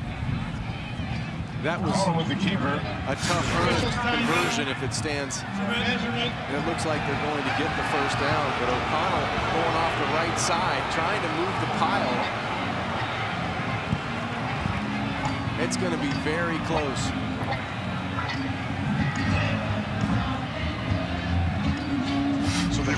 Measure once again. I agree with head coach Jeff Brohm. I think this is a poor spot by the officials. It looked like O'Connell got to the 44-yard line. Now you can challenge the spot when a first down is in question.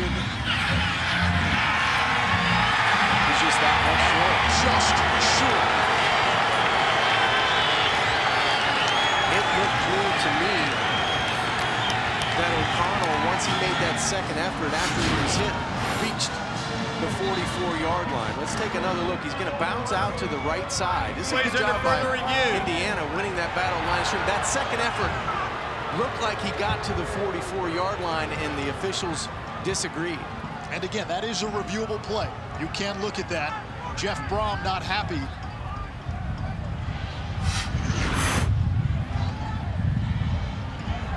They are looking at that last play. We'll step aside while they do.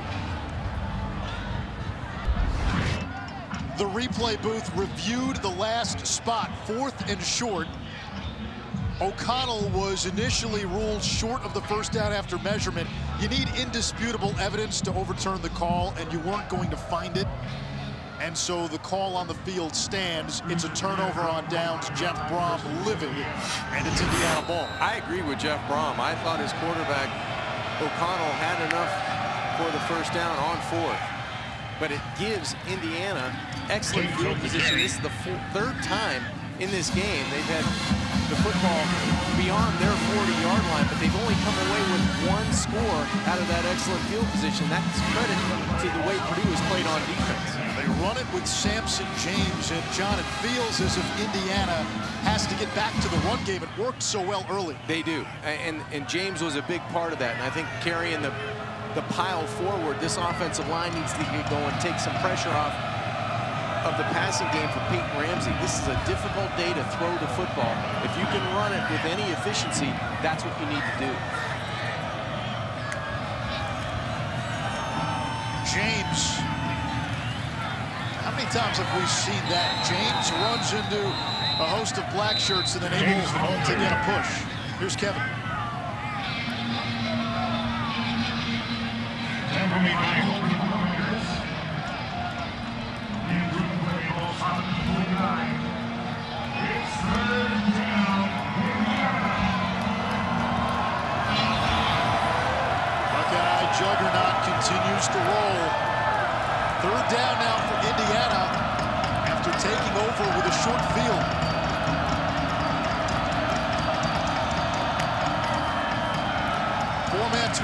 Purdue. Ramsey evading the pursuit, throws on the run, and completes on that far sideline to Miles Marshall, a redshirt freshman.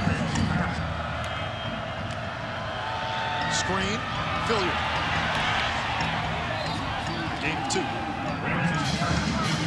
See, that's, I think that's a tough way to get two yards on a day like today that's so raw and windy. I'd rather give it to Sampson James or Ronnie Walker, and your chances of securing the football in between the tackles are a little bit stronger than that perimeter throw.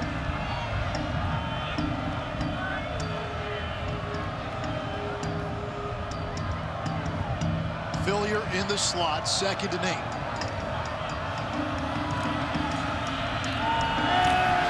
Ramsey under pressure, making a hold on James.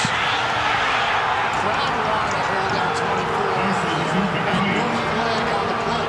That's the second time Mackey has come on that short side corner blitz. This time it was picked up by Samson James, who's not as efficient as Ronnie Walker in pass protection, but he is aware enough to come back and pick it up. There's the potential hold. It looked like the right hand held Mackey away from quarterback Peyton Ramsey. Let's take another look at that. That's a hold, John. You've seen that called. Ronnie Walker now, veteran pass pro, comes in on third down. Philyor again. No one on top of Philyor, the most dangerous player on the field right now.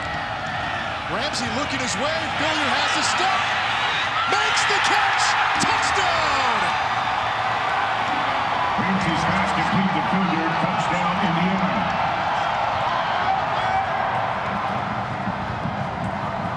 You cannot allow Whop Philyor to go down against man-to-man coverage if you don't have a man to cover him.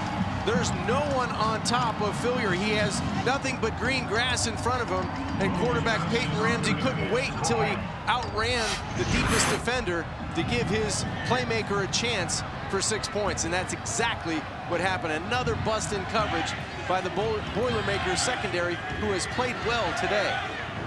But the two busts have resulted in touchdowns. The two mistakes ends up in 14 points, and that can't happen against a team that can take advantage. You have the experience on the position of quarterback and wide receiver. They give each other the nod and say, hey, nobody's here. There's nobody in center field for the Purdue defense. Thieneman is supposed to get over. He's playing center field, but you're in man coverage. It's the exact same bust that led to the opening touchdown against Purdue in the red zone. Second touchdown for Philyor, sixth career 100-yard game, and uh, another monster afternoon for the junior from Tampa. Seven catches, 135 yards. He had huge games against Nebraska and Rutgers and Michigan State. Was out last week, suffered a concussion against Penn State, did not play against Michigan, and with the injury to Stevie Scott, having him back, boy, that's a big piece on offense returning. It is. It's huge. I mean, you have playmakers at a lot of positions, and that's why I think head coach Tom Allen is so excited about this seven-win season, trying to make it eight. You're going to get five wins in the in the Big Ten, which hasn't happened in I don't know how long. It's just unbelievable how you can kind of grow with confidence when you have a couple of wins that you maybe in other seasons you don't get. You get them this year, and now you build upon that. Fair catch. Purdue ball to 25. 122nd meeting all time. The first bucket game took place in 1925. the seventh most played rivalry in the FBS. Zander Horvath with a nice run as we say hello to Kevin once again.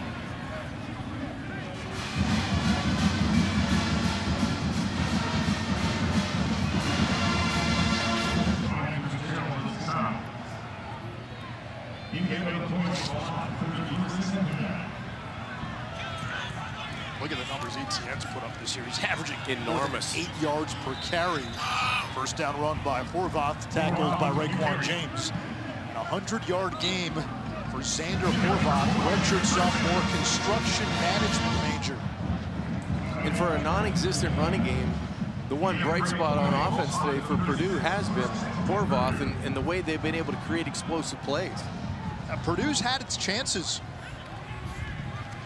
O'Connell pumps, he gets hit. And it's caught by David Bell.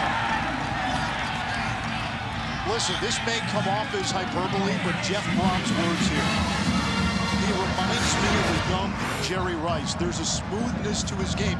Not a burner, but it's the route running, and that's what Jeff Brohm was getting at. How about the athleticism to put himself in those positions to come off the ground and make catches? Jackson Anthrop makes the catch inside the 30, and Purdue, as they've shown all season, injuries are not an excuse. Still showing fight, down three scores. Partner, can they finish? That's been the big question in the first half, and now late in the third quarter, they have to take advantage of these explosive plays and not rely on three-point opportunities as we see a wholesale change on defense for Indiana. Hockey-style line change. Two tight They may ends. be one short.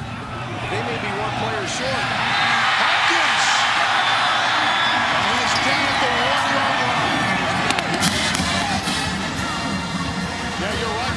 10 guys on the field. Yeah, I think number 11 was standing on the sidelines, and you're supposed to be on Brycen Hopkins.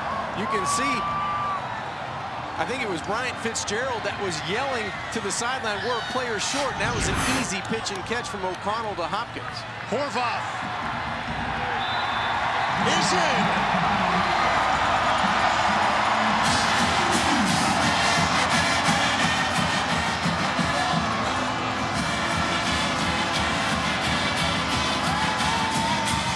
Some rarities for Purdue today. A rushing touchdown. That's just the eighth rushing touchdown of the season. Entering the game, only Akron had fewer rush TDs.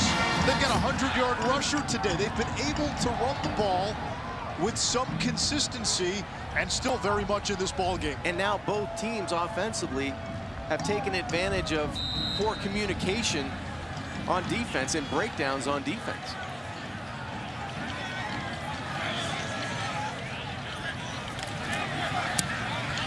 PAT is good as we get into the later stages of a rivalry game. What matters now, John? discipline. How the emotions worn off now. How well can you execute? How well can you decide on third down where your players and playmakers are? Not about plays, but who to get the ball to. I think all those things play into huge effect as we near the fourth quarter.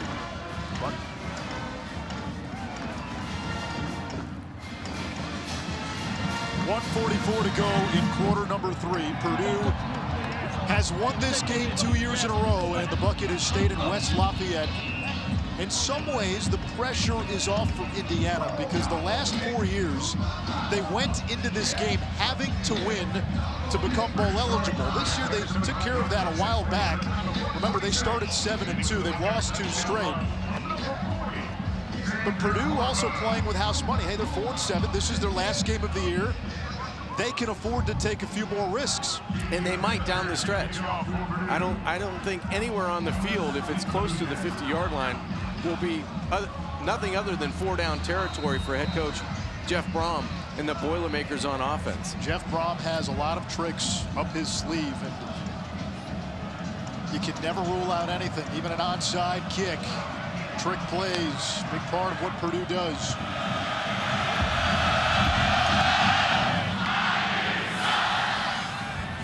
Indiana has it at the 25.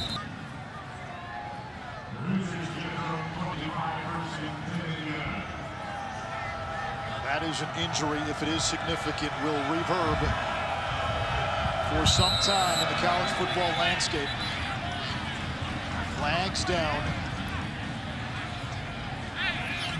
There is no foul to the play. Charge timeout. Purdue, they're first.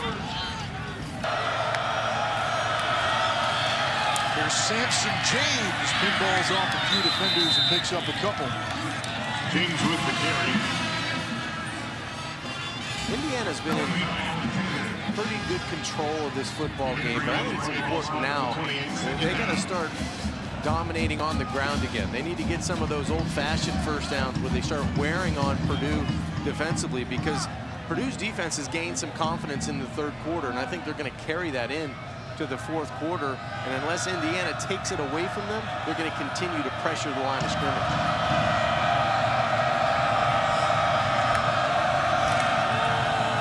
Ramsey on the own lead, brought down by Barnes for a loss.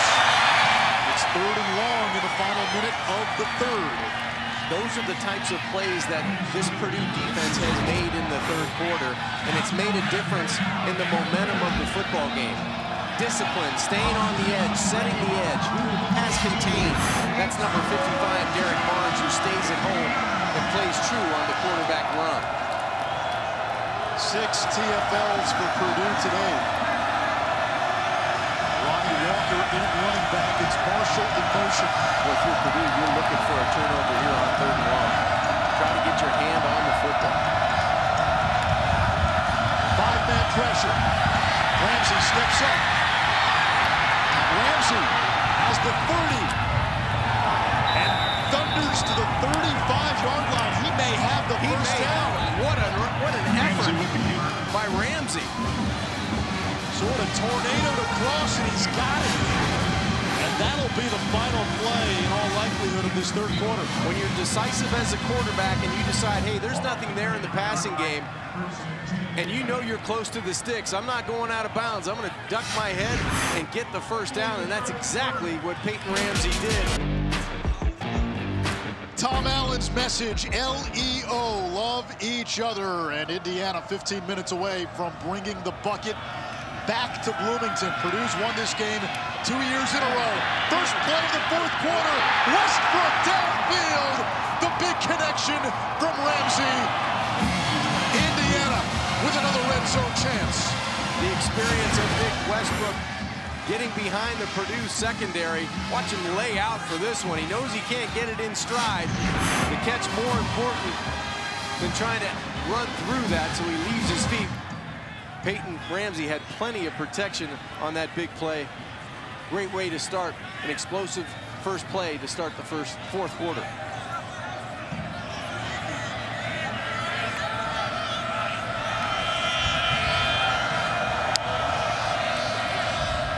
Samson James picks up a few. Nick Westbrook dreamed of being on ESPN one day, and we have the proof. He was out visiting Disney World. It was ESPN Day. He was having fun, taking some pictures. He stole a sign, sign. he took a sign that they gave him that said ESPN. He wrote on it, I want to be on, in his own handwriting. He pinned it up to his wall. It stayed there through high school, and now it's come to fruition. He's had some big games too in his career. Six 100-yard games. As James is met by Watts. No gain. And it's third down. And we mentioned the kicking game being problematic for both of these teams because of the wind. It is, and it's probably a little bit easier going in this direction. And it's good to see Anthony Watts back in the football game. He left the field in the third quarter with an injury. He gets back for the Purdue defense as we have an injury on the Indiana side. That's Samson James, who's had the bulk of the carries today with Stevie Scott, the team's leading rusher, out. Both teams have used five different starting quarterbacks combined. It's all pressure from defensive coordinator Nick Holt here on third down. Man coverage across the board. Loading up the box. Ramsey has Marshall. He's open. Marshall is going to be about a yard shy of the marker. Mosley with a key stop, fourth down. Go for it. It's a decision you have to make. I think you try to take the points if you can. If you trust your kicker who's missed two in the other direction, I would, I would indeed get points here, if at all possible, with your kicking game. Tom Allen might want to take a timeout and talk about it as this clock rolls down. Offense still out there, but Ramsey is walking slowly toward the Indiana sideline as the play clock continues to count down, and the Hoosiers look like they will think about it. Timeout is called with the play clock at one. March timeout. After a timeout, Indiana on fourth and one will decide to kick a 26-yard field goal. Logan Justus 0 for 2 today, but had not missed all season entering the game. And this kick is no good. Now 0 for 3. Logan Justus had missed three kicks in 32 attempts in his career. Entering today, he's missed three today. O'Connell finds David Bell. Gets past Mullen. Bell so smooth, the freshman out of bounds at the 26.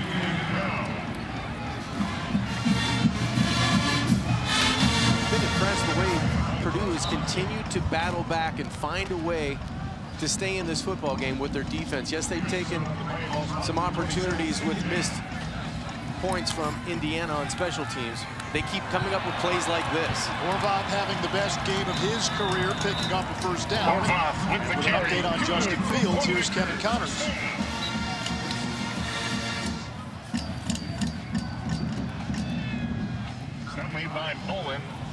On the play. Ball stop the 35.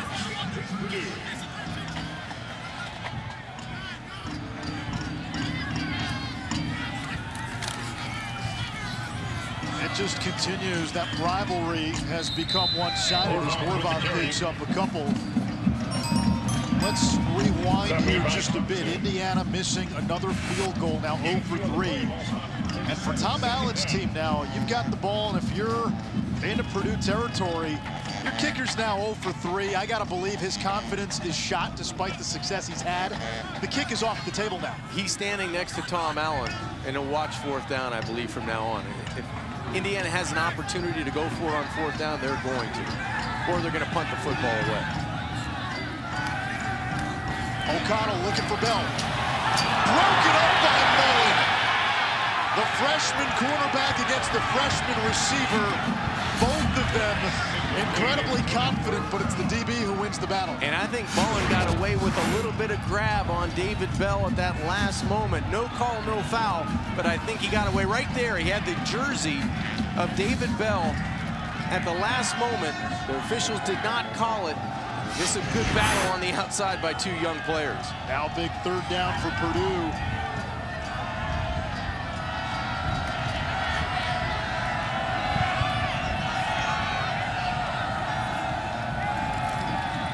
O'Connell under pressure, gets away, chased by McFadden. The helmet comes up, multiple flags down. And that's going to be a penalty against Indiana. I think they got him with a face mask. There's two penalties on the play. One at the point of the quarterback on the sack of O'Connell, but there was one downfield in the Indiana secondary.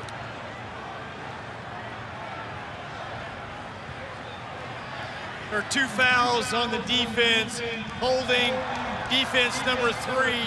That penalty's declined.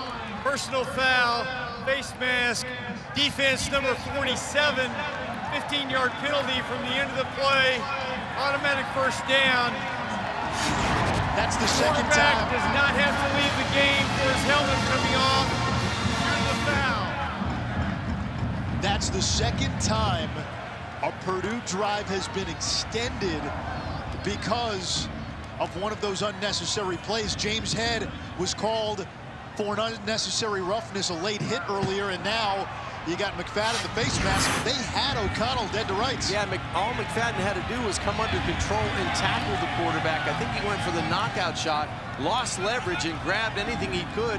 And the first thing that he held onto was O'Connell's face mask, which ripped the helmet off of his head and moves the chains for the Purdue offense. Aidan O'Connell, redshirt sophomore, or rather a sophomore, a walk-on, began the season as the fourth stringer you got a walk-on center and Sam Garvin snapping him the ball. Right tackle for Purdue. Two redshirt freshmen who've been splitting time. Left tackle Grant Hermans has battled injuries the last few years. Left guard didn't play the last two years. Purdue trying to find a way with all the injuries and this piecemeal offense, and they pick up four as the catch is made by Brycen Hopkins who's got a 100-yard game today.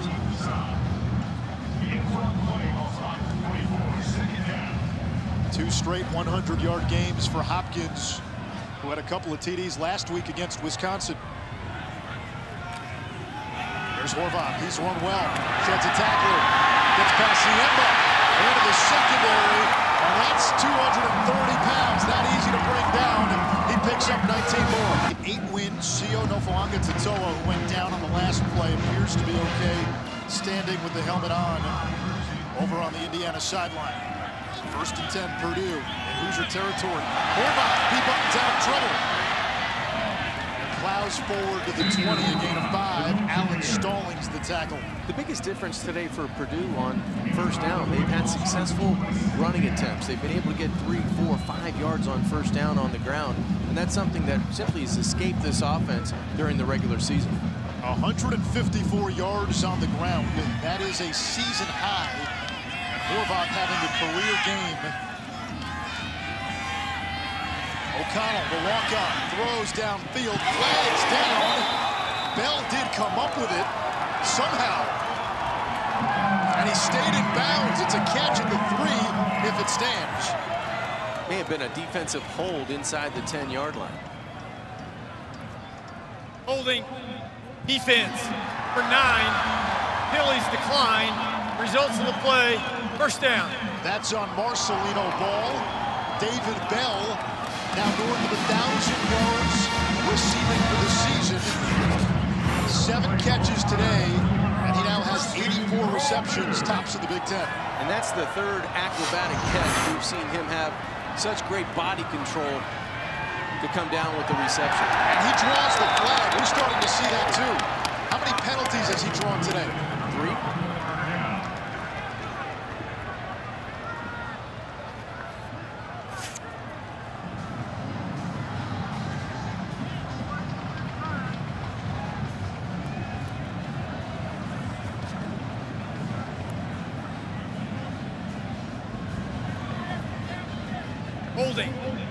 Defense. Number three. After this is to the goal. First down. Purdue still has a chance to win this game, but boy, David Bell and Rondale Moore, a year from now, that is a receiving tandem to dream on. Well, he, he's just so aggressive when he's running his routes, and he has good body control so he can get himself in a position where as a defensive back, you have no choice but to grab and hold on. Here is Horvath. Bullies into the end zone.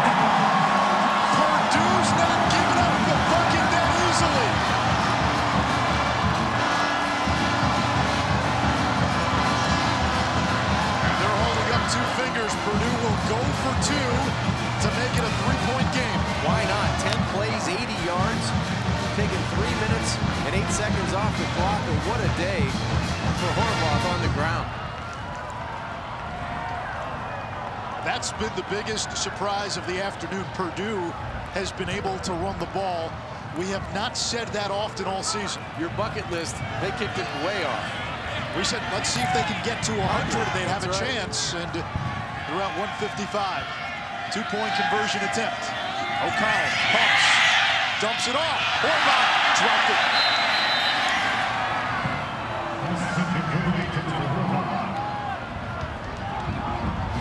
With a win today, Indiana would secure a winning conference record for the first time since 93.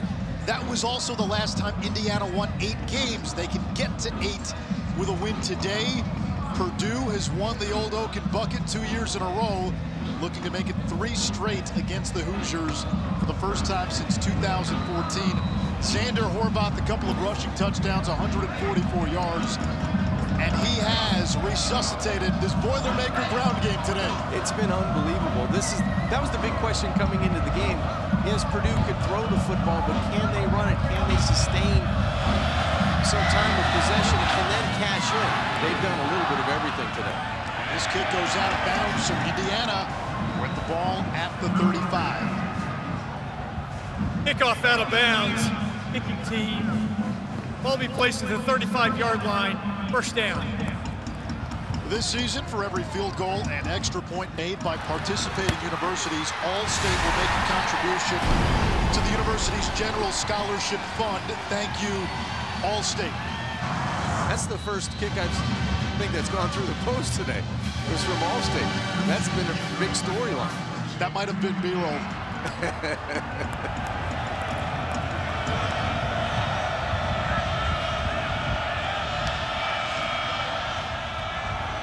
Ronnie Walker ran into a roadblock.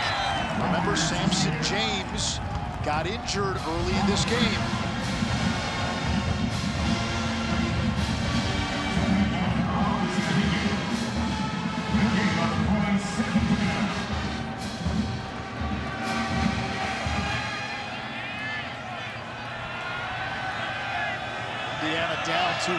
Right now. Stevie Scott did not play today after getting injured last week.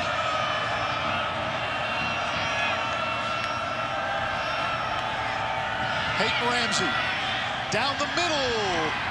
And it's brought in by Miles Marshall for a first down. Here's Kevin Connors. Complete to Marshall.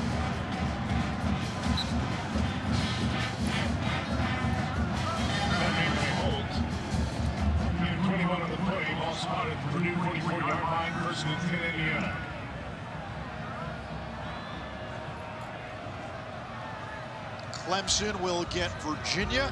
And the ACC Championship, Ohio State will get the winner of today's game between Minnesota and Wisconsin, the Big Ten title game. Now into Purdue territory. Walker brings it to the 41.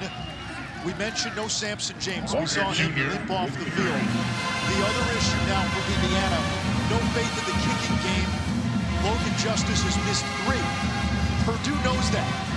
How does that impact how the Boilers can now call defense? Well, I think they can be a little bit more aggressive on defense. I think that allows Nick Holt to challenge the receivers on the perimeter a little bit and then show blitz and then come out of it as well. So you play the mind game with quarterback Peyton Ramsey.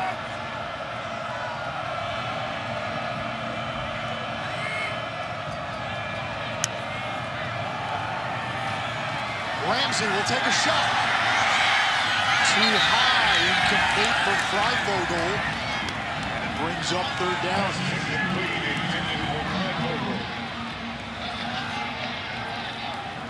Taking a shot down the field. I like the aggressiveness. Head coach Tom Allen wants to play, keep his players just on the edge, and that was a good shot play from around the 41-yard line. But now it brings up a third and medium, a third and seven, where defensive coordinator Nick Holt, he's going to play that pressure game as well. Last time he showed pressure, came out in zone. This time I think he's going to bring an extra play, a body in the pocket. Hoosiers have been good on third down today. Ramsey under pressure, escaping. He's got room to run. He's got a first down. And Ramsey takes it all the way to the 21. I do not know how Peyton Ramsey got out of that one. That should have been a sack and a punt opportunity from the Purdue defense. There's two players, three players in the offensive backfield that cannot contain Kate Ramsey. He's able to stumble to the 20-yard line. That's twice today on third and long. He's made a play with his feet. One, one for 15 yards right in front of the Purdue bench. This time, he's been able to get it down inside the 25 to the 20. But now they have to cash in. And last three red zone trips empty. Walker. No room. Lost a yard. Walker Jr. Valkyria.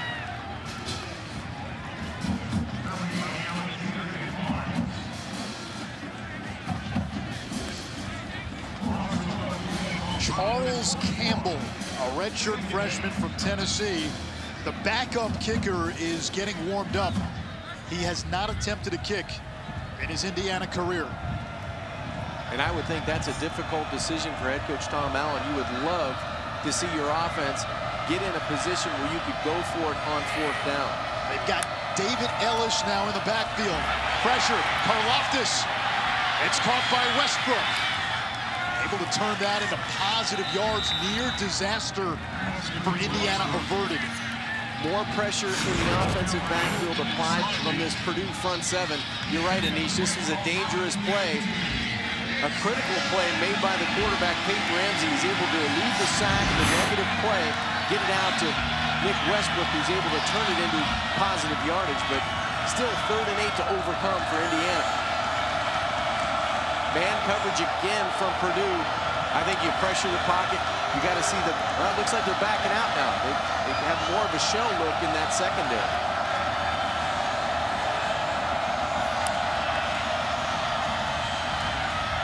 Ramsey flushed. Throws on the run. It's tipped and broken up.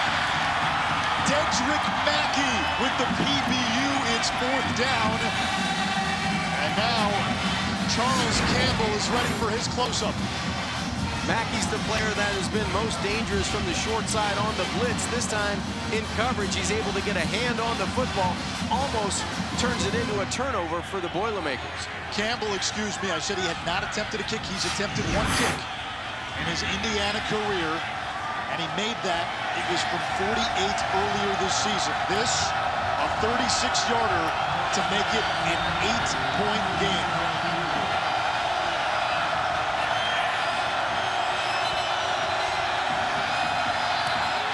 They get a whistle before the kick.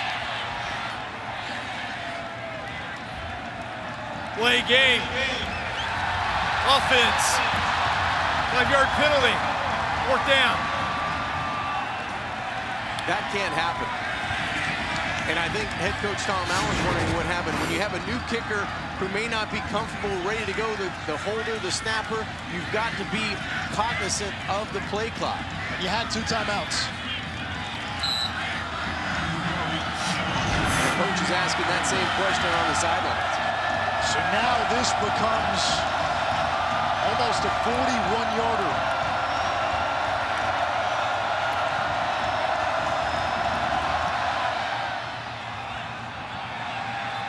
And Campbell comes through. Big spot, freshman kicker, rivalry game. Logan Justus missed three, uncharacteristic for Justus who hadn't missed a kick all season. And Campbell, even with the five-yard penalty, knocks it through. Campbell was clutch not once but twice. He had the delay of game where he knocked it through. You walk back five yards, it's good. And how does the coach feel about it? Pretty confident. So now Purdue needs a touchdown and a two-point conversion to tie the game. Three of the last four games in this series have been decided by one score. Indiana and Purdue play for the old Oaken bucket. It's a rivalry that has a lot of meaning in this state. Tom Allen told us he has family and friends, some who are Purdue alums, some who are Indiana alums. It divides households, maybe more so than politics in some parts. Jeff Brohm, season three as Purdue's head coach. Two for two in these bucket games.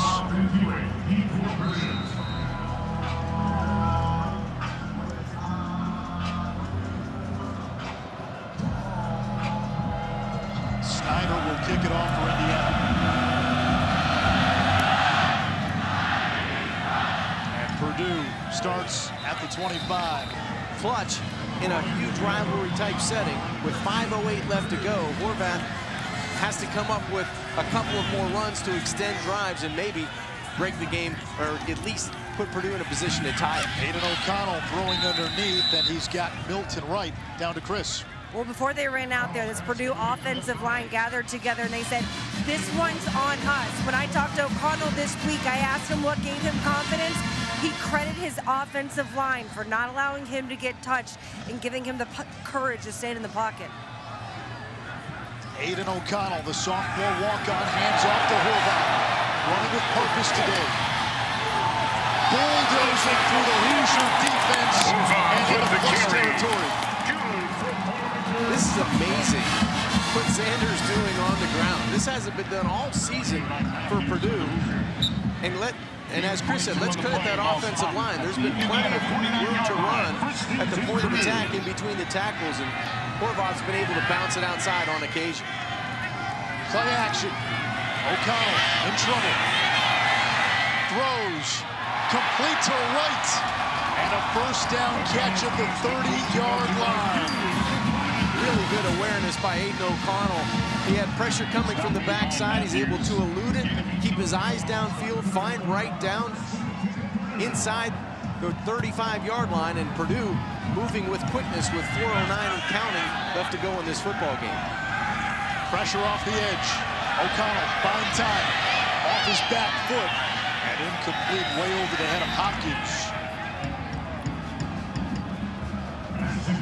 Aidan O'Connell with a chance to craft a legend here at Purdue. Doesn't matter what happens after today. A kid who was thinking of going to Wheaton College, a D3 school, where his older brother Patrick is a D lineman. Instead chose to walk on to Purdue a couple of years back. Jeff Brohm told us, you know, when they looked at him, yeah, walk-on quarterback, sure, why don't you come here? They never expected him to play in meaningful games. Horvath bottled up finally by this Hoosier defense. And now a critical third down. We've got two downs now to make 10 yards. That's the position the Purdue offense is in. And I would expect the pressure on the pocket where Aidan O'Connell's trying to hold up and set up offense is going to be extreme here on third down. O'Connell led the team down the field against Nebraska. Man the game-winning drive. Man-to-man -man coverage on the outside. David Bell against Mullen, wide side of the field. That's where I would look to go with the football. You may get a holding or a PI. Instead, over the middle to the tight end, Hopkins, who stretches across, and a first down at the 20 for Purdue. I would say Brycen Hopkins is a pretty good second option if he's in that rotation. Easiest throw today on a tough wind day is over the middle, and that was a really good, accurate throw by O'Connell. Three 100-yard games on the season for Hopkins. O'Connell, downfield, wants it's broken up by Mullen. Uh, it's been fun to watch those two do battle all afternoon. We have three more seasons of that battle because this has been unbelievable. What high level at receiver and corner. They've been going back and forth. That's where I thought they'd go on the last play when they found Hopkins for the first down. You got to credit both of these guys. Terrific competition on the perimeter at the skilled position. O'Connell rolling right, throws, looking for Bell. He was engaged by Mullen. No flag on the play. It's third and 10. Boy, it looked like Tiawan Mullen had one hand on the receiver and one hand batting the football down. It looked like he contacts Bell with one arm. Oh, that was a pretty good play. He came off in time. There was contact both ways, so I think that's a good no call on the play. It looked like Bell initiated the contact. Yeah, you're right.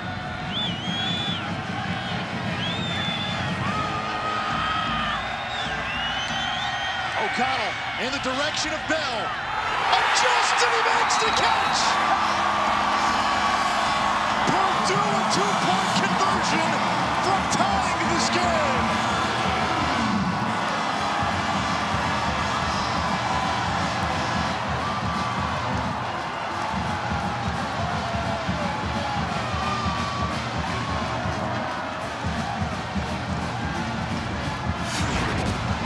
What an adjustment by David Bell. This is the fourth catch that he's had to make an acrobatic movement with his body to get in position to catch the football. He goes away from Mullen, and credit Aidan O'Connell just getting it close to his playmaking receiver in the end zone.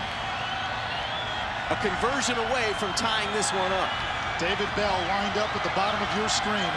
Purdue 0 for 3 on two-point conversions this season. and a timeout. Orange timeout, Indiana, Indiana. calls the timeout. They're second. The Hoosiers This with would be a one 30 left. timeout. series. They've won two straight.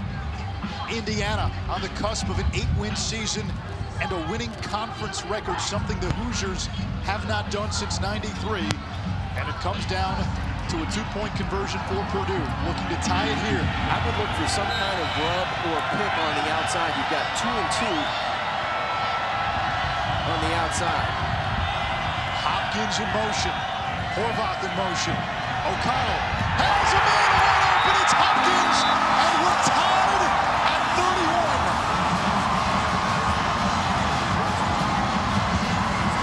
Credit the scheme of Brian Brohm, the head coach Jeff Brohm. That's just, you win by, you won by scheme on that two-point conversion. Indiana had no answer because if you go man-to-man, you have to have somebody to account for Bell on the outside and Hopkins. You can just see the confusion wide open. You never want to see somebody that wide open on a two-point conversion, and now you've got a 31-all game with 2.48 left. They told us Aidan O'Connell, his best traits, his composure, calm, in control, and marching Purdue down the field. But there's 2.48 to go. Indiana has a timeout. If you're a Hoosier fan, what worries you the most right now is what if this game comes down to a field goal? You've already missed three on the day. It's a very difficult day, no matter where the kick comes from. 25 yards, 20 yards, 30 yards, it's still a challenge. The challenge now is to get in position to make that kick, and, and that's going to go to the Indiana offense, who's moved the football with efficiency the whole day. They just haven't been able to capitalize on that field position. They've been in the red zone three times in this half, and in three instances they have not scored. And Charles Campbell, remember, came out for the last field goal, which he made from about 40 yards. Logan Justus 0 for 3 today, so you'd have to imagine it's going to be Campbell, a redshirt freshman who's kicked two field goals in his career if it comes down to him.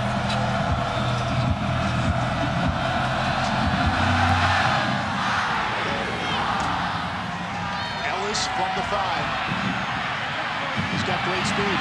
Bounces it to the outside. Ellis accelerates across the 40-yard line.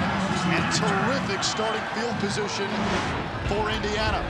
If the Hoosiers lose this game, they will point to missed opportunities. Three field goals by Logan Justus, who was perfect all season coming into the game. Tough conditions, a lot of wind, a lot of rain early in this football game. You, you, if there's one guy that you thought was going to come through for Indiana, it would have been their place kicker. And you got to remember, too, this is a team that does not have Stevie Scott, their leading rusher today. He's been out, got hurt last week.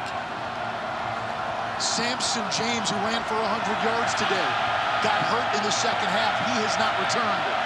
Starting left tackle, also out today. There's no one on the outside to the receiver. Incomplete for Marshall, and on the far side, Fryfogle was wide open, and if Ramsey looked that way, Indiana had a touchdown. This is the second time that Purdue's defense has had a bust. There's no one at the top of the screen.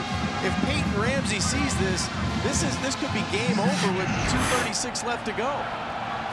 And they're late getting over again. Purdue trying to get lined up defensively. It looks like they'll bring pressure. Now Ramsey to change things up. Play clock at five. Down to two.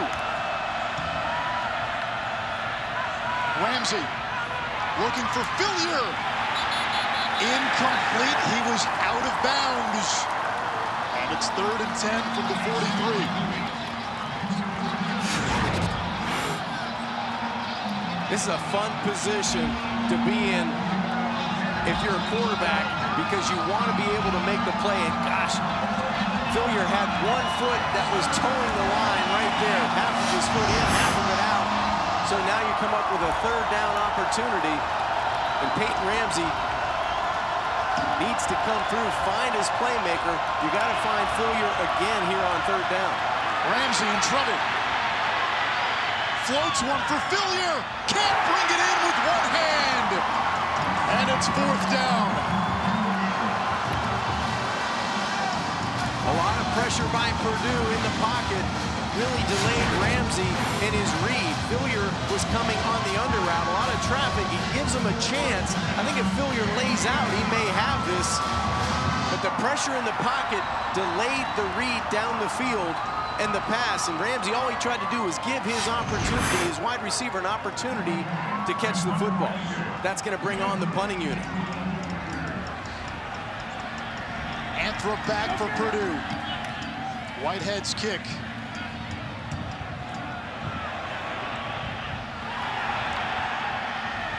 Indiana keeps it out of the end zone, and Purdue will start at the two. Jalen Williams with an outstanding special teams play. Williams showed speed as he was going down, pursuing on this punt opportunity. The ball never crosses the goal line. That's just good awareness by Williams to keep that football in play. Remember, it's not the player, it's the football. Never comes close to the goal line, and that's going to set Purdue back inside the two-yard line. And will the legend of Aidan O'Connell grow here in West Lafayette, making just his third career start. Look what he did against Nebraska and Northwestern. Now 98 yards to go against rival Indiana. Purdue has two timeouts. They'll run. Horvath. A great tackle by Mullen in space. Ball at the one-yard line. And Indiana now can be a little aggressive. They could win this with their defense. How competitive is Mullen at the corner spot? Not only tenacious in pass coverage, but at the line of scrimmage, taking down a big running back in Horvath. And now with this inexperienced offensive line, you got to worry too. You get called for a hold in the end zone, that's a safety. Only one timeout remaining for IU, so they have to use it wisely here as the clock counts down almost at 1.30 left to go in this football game. O'Connell from his end zone. Downfield. Incomplete. Wright was covered well by Reese Taylor. Clock stops, 126 to go. And if Indiana gets a stop here, they should have good field position. And wow, does that help out the Indiana defense on an incompletion. You have to be able to, to move the football throwing it, but you have to kind of stay in bounds to get that clock going. How do you play this now if you're Purdue? You have to play it aggressively. I think you have to throw the football here looking for David Bell or your tight end Brycen Hopkins. Those are the two guys you can count on in this situation. Purdue letting the play clock wind down. And the Boilers use their second to timeout. Purdue, their second. This would be a 30-second timeout. But both coaches told us, and Tom Allen, who is an Indiana guy, he's coached high school football in this state. He's been a D coordinator at Indiana, now the head coach. He said, this game is personal to me. It matters. You heard the pregame speech where he got his troops fired up, bringing back the bucket to Bloomington, getting to eight wins. That matters to Indiana. Their defense, which has been terrific most of the season, if they get a stop here, they're going to give the offense a real shot. They're going to get excellent field position, and that's what you need now if you're a fan of Indiana. On the other side, if you're wearing Purdue and their colors, you want to be able to move the pocket, get the ball out on time to either Hopkins or Bell. O'Connell in trouble, gets it off. It's complete. Hopkins able to pick up a first down for Purdue. Go figure. How clutch has Hopkins been in quarter, and how cool has Aidan O'Connell been at the quarterback spot? And he gets out of bounds. That stops the clock. 118 to go. You can't lose one of the premier playmakers that you have to stop on third and very long, and that's Brycen Hopkins coming out of the backfield. Now from the 20. O'Connell looking for Bell. Incomplete. Flag down, and O'Connell is down as well the eight-yard line, or rather the 12, and there are two flags back where O'Connell was down. They may both go against the defense. Penalties have been killers for Indiana today. Two fouls on the defense. For pass interference, defense number three. That penalty's declined. Personal foul, roughing the passer. Defense number 47. 15-yard penalty. Automatic first down. Nine penalties for 84 yards today, and there have been a few personal foul penalties. Those yeah, penalties that are avoidable in some regards. That's the second one on McFadden for a personal foul on the quarterback. Boy, that just looks like a. I don't know if he, if it was helmet to helmet. I don't know if it was above. Yeah, that's, hard that's to it. pin on McFadden, though. Yeah, the target lowered, and, and I don't think it was the timing of the shot. I think it was the placement of it. A few years ago, that's just a, a football Good play. play. So much emphasis these days on protecting the quarterback. So instead, a first down at the 35. Anthrop in motion. O'Connell dumps it off. He's got Horvath. Horvath to the 41. The clock will continue to run. Purdue with one timeout. Dellinger, their kicker. Purdue's got to move with some urgency here. to Zander Horvath. Clock moving with 53 seconds left to go. Dellinger, the kicker, has a career long of 53.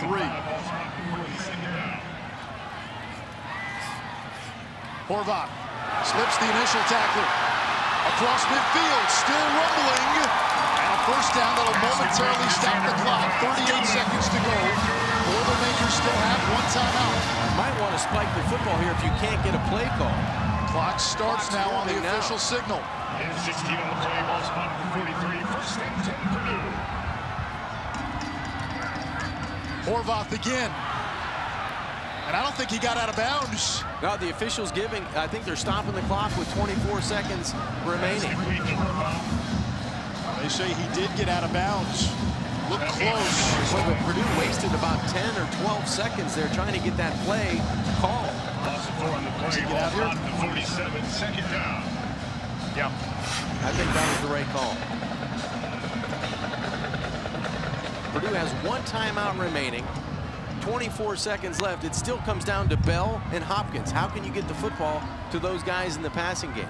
Throwing it up in Bell's direction has been a good play all afternoon. O'Connell scrambling. He's past the line of scrimmage, and he's able to get out of bounds at the 40-yard line. 17 seconds to go. Good decisive decision by O'Connell once he decided it was his decision to move the football with his legs. He got out of bounds and saved Purdue that timeout. They've got to get to, I would say, probably about the 35, 36 to have a chance, but kicking in this direction today has been problematic for both teams. It has, and I would say you might even have to get even closer, Anish, to feel comfortable with that field goal opportunity. David Bell at the bottom of your screen. O'Connell looks his way, throws his way, incomplete. It's fourth down. Pass is incomplete. Purdue has one timeout, 12 seconds to go, and the offense will stay out on the field. They haven't had an answer for Brycen Hopkins on the under routes or the crossing routes. That's kind of what I would be dialing up if I was Jeff Brohm or I was offensive coordinator Brian Brohm. Find a way to get it to your big body tight end over the middle of the field.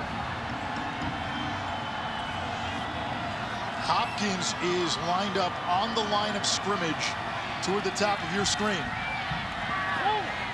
On the slant, incomplete intended for Milton Wright. Reese Taylor broke it up with seven seconds to go. And it appears we might be heading to OT. I think so. What a play by Taylor. This is a strike by Aidan O'Connell. Put it right where he needed to put it. Wright just could not come down with the football. Good route. game. Oh, good timing. Better play by Reese Taylor from behind. What is it about these rivalry games? Because on the surface, right, Purdue, four and seven, all the injuries, it would be so easy to pack it in. And they were, boy, I would say at multiple junctures in this game, it seemed right on the edge of, of just being put away. I think Purdue did everything today they've lacked to do during the season. They created explosive plays. They were able to run the football. And Indiana could not put it put them away. This was an Indiana team that usually had command once it got to the fourth quarter with a lead. They couldn't do it today, and that's been the biggest story. Hoosiers have one timeout against a three-man front. Ramsey throws it downfield. He wants Westbrook. And it's broken up, and we head to overtime.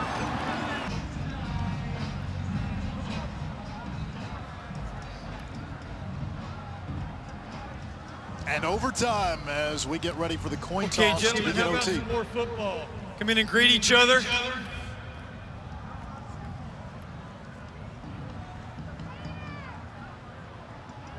Overtime period is played at equal possessions at the opponent's 25-yard line unless the defense were to score.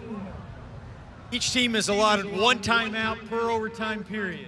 If we get to a third overtime period and you score a touchdown, you got to go for two on the try.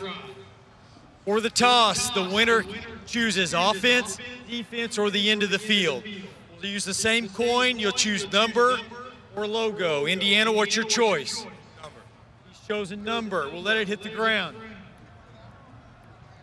It's the logo. Purdue's won the toss.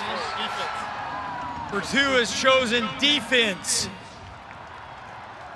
Play down there, turn your backs to your goal. Start the overtime period. It's going to be Indiana's ball, first and 10 at the 25-yard line, going that way. For Purdue defensively has been the pressure they've been able to apply to Peyton Ramsey. They've really broken the timing of the pass offense.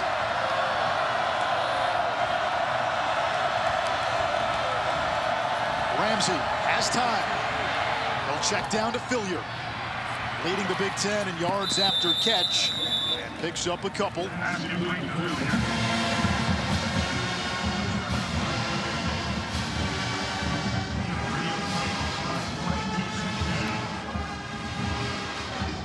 Has shown up in the pass offense in the fourth quarter has been Nick Westbrook. He's been a guy that has had a couple of catches, big catches in the fourth quarter. He's an experienced receiver, especially in the red zone. That's somebody you got to keep your eye on if you're Purdue defensively. Sampson James's injury has hurt Indiana too. They haven't been able to run the ball without him. Ramsey steps up down the middle of the field. Too high. Mosley covered Westbrook, and Westbrook thought there should have been a flag. There was contact in the back of the end zone, but I'm not so sure the ball was catchable. This was over and out of the end zone, I believe. But there's a there's the pull in the back. That should have been some type of pass interference or holding call. He had a grab, a full grab of the back of the jersey of Nick Westbrook. Not reviewable, and Westbrook has a legitimate gripe.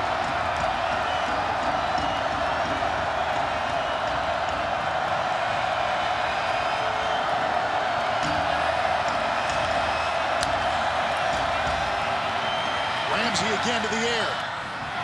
Floats that one to Marshall. It's a first down at the 11-yard line.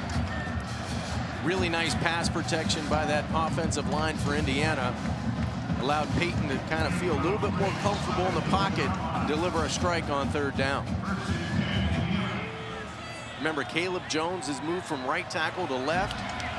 Devondre Love up at the right tackle position, so a makeshift offensive line for four quarters comes through on a big down, third down conversion. You're down your top two running backs. Ronnie Walker stood up. Still picked up about three.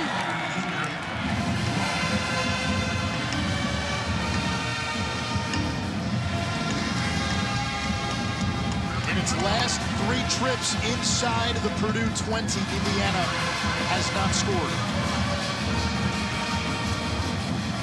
Three of their last four.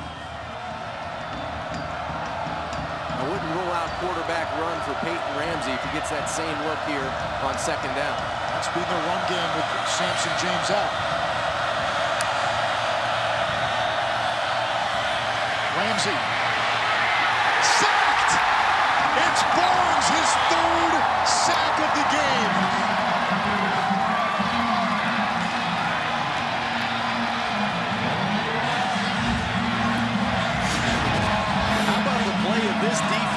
Critical opportunities in this second half. They've been able to pressure the pocket, make Peyton Ramsey feel uncomfortable, and Derrick Barnes has been the main reason why. We talked about the makeshift offensive line. It's finally showing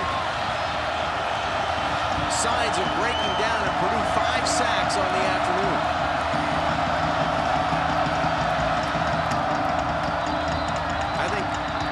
Tom Allen got a timeout before that ball was snapped.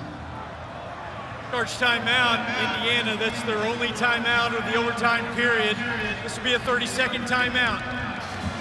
Well, this is big because if you don't get the first down here or if you don't score, how much do you trust the kicking game right now? Charles Campbell, the redshirt freshman, to his credit, came on and kicked a huge field goal to get Indiana to 31 after Justus had missed three. Chris. Well, Justus was warming up a couple minutes ago, went to the coaching staff trying to plead his case, but it seems like they're going to stick with Campbell right now because he's the one practicing. I agree with that call. I think you go with the kicker that has made a field goal today, especially in the same direction and probably around the same distance that he made it in the fourth quarter. Has only attempted two kicks in his career, both this season. Both were makes from 40 plus.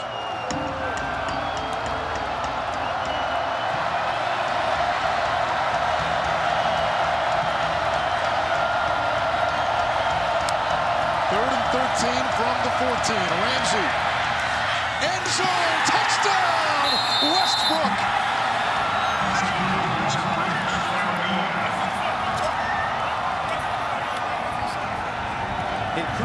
Situations, experience matters. You have it at quarterback, and you have it at wide receiver.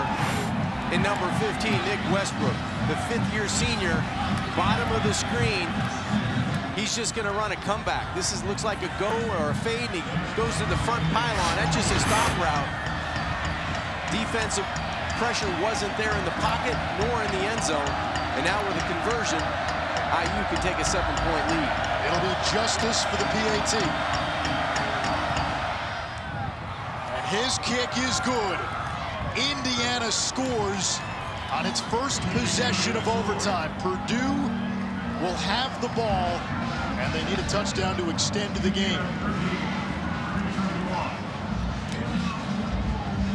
What a roller coaster of emotion in this football game that both sidelines have gone through. It looked like, or it felt like Indiana had complete control of this football game midway through to late in the third quarter. And all of a sudden, Purdue, the running game, the explosive plays, the sacks on defense, the tough, tenacious pass defense that comes out of nowhere, and they find themselves in overtime only now to have to answer a touchdown with a touchdown. Indiana had a lot of chances to put this game away.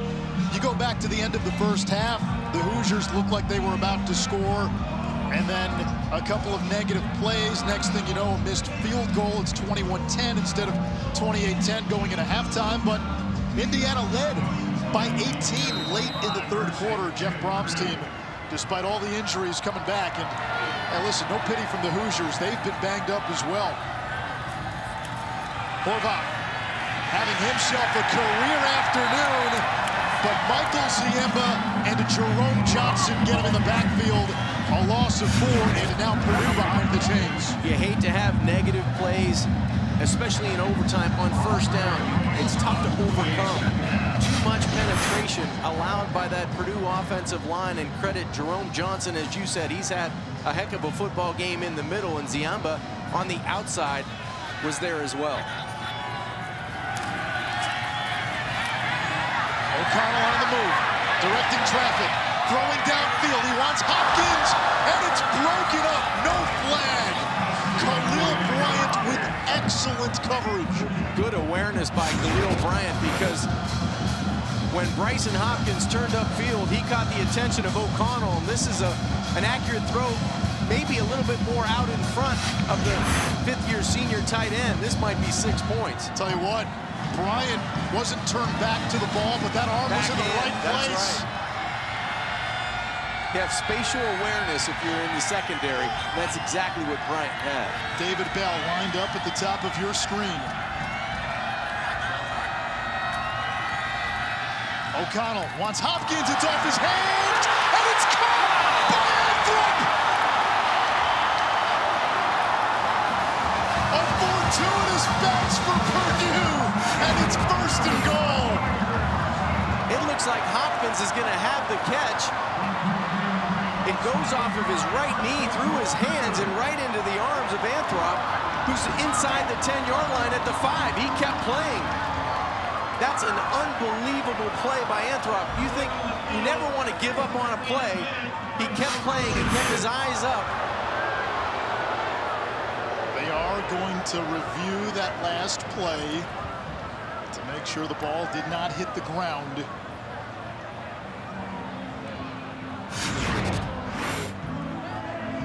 It like been a that kind of game, John. You're right. The ball goes off the right knee or right leg of Hopkins, and it looks like it's a clean catch around the six, five-yard line by Anthrop. Ball does not hit the ground there, and it does not seem to hit the ground when Anthrop gets his hands under it.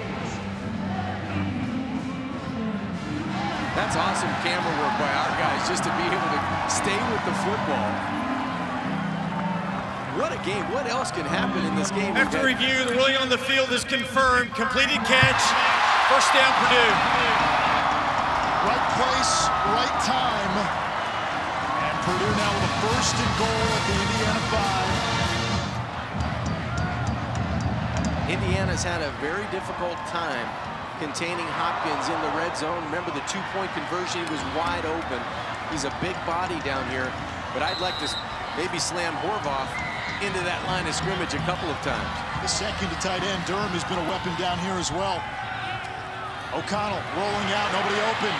Throws it up into the end zone and out of the end zone, a wise decision, second and goal. Great decision by O'Connell. They were trying to use that crossing route, getting Hopkins by the back line of the end zone. Double coverage back there, and a nice decision on first down to throw that football away. Aidan O'Connell began the season as the fourth string quarterback. A walk-on, 396 yards passing today, two TDs. On the fly sweep, Anthrop is tackled by Taylor with a great stop in space. We've Tiawan Mullen on the other corner come up and aggressively tackle Horvath early in the game. This time, it's the fly sweep motion to Anthrop, and Reese Taylor comes up, and you don't do it any better than that. That's a tackle for loss on second down.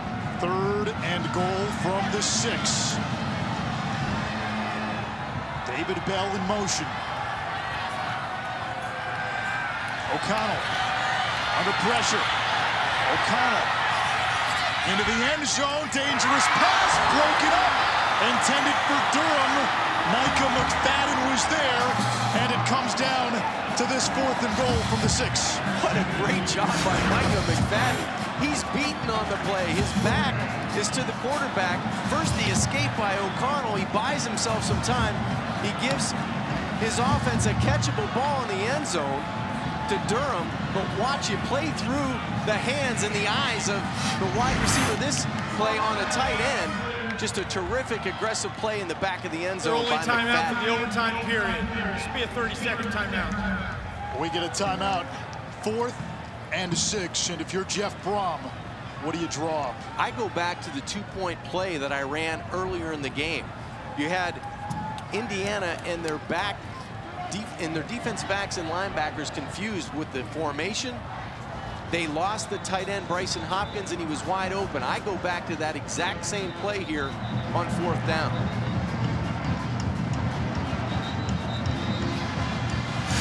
I think by design, Jeff Brohm had him outmanned and had him confused. You've got guys going in and out, then you've got a delay with Hopkins coming in, and no one was close to him. No one was in five yards of the tight end for the two-point conversion. What's Indiana telling its defense? Be disciplined, pressure the pocket, play as hard as you can for four, four seconds, because that's all it should take. Eye discipline, because you never know who's going to come out of inside out on the formation by Jeff Brohm. Horvath motions out. Fourth down. O'Connell. Exact play. Same play, and it's Hopkins.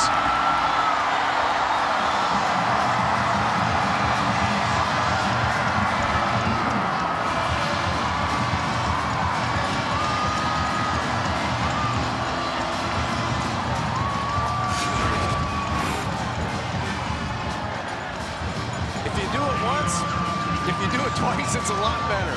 That was a great execution on the two-point conversion play, this time for the touchdown, and now you need to tack on an extra point to make it go into the second overtime. Dellinger's kick is good, and we have double overtime. The winner gets a P or I link added to the chain of the bucket with the score, the date, and the location of the game. And we are now in overtime number two to decide whether the Old Oaken bucket stays in West Lafayette or goes to Bloomington with the Hoosiers. Purdue will have the ball to start the second overtime from the 25, Horvath in the backfield. Aidan O'Connell on the slant, low throw. He's got David Bell for a gain of six. Nice catch by Bell on the perimeter. You just want to get it close if you're a quarterback. You had a lot of cushion on the outside, so a positive play on first down. 35 catches in his last three games for Bell, a true freshman.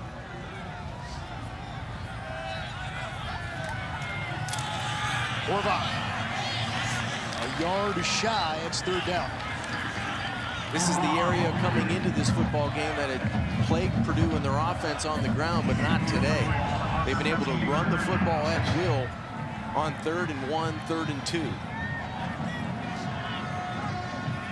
Now, some people around the team were joking with us the way this season has gone.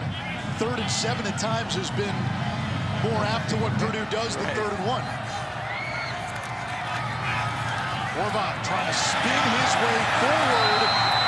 And he'll be stopped. It's fourth down for the Boilermakers. You got to kick the field goal here, don't you? I would think so. I think you have to take the points. Put the onus on your defense in, in Indiana to score. Doesn't look like the special teams are coming on. Now, here they come.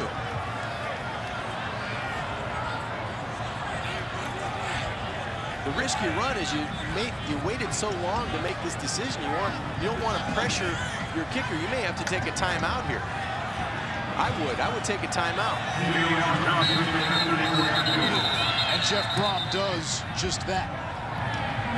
Their only timeout for this overtime period. This will be a 30-second timeout. Now this is how we got here.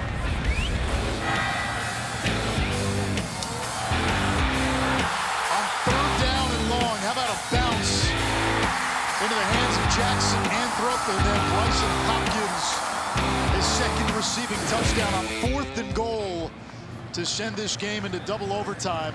A game that Indiana led 28 to 10 with less than four minutes to play in the third quarter.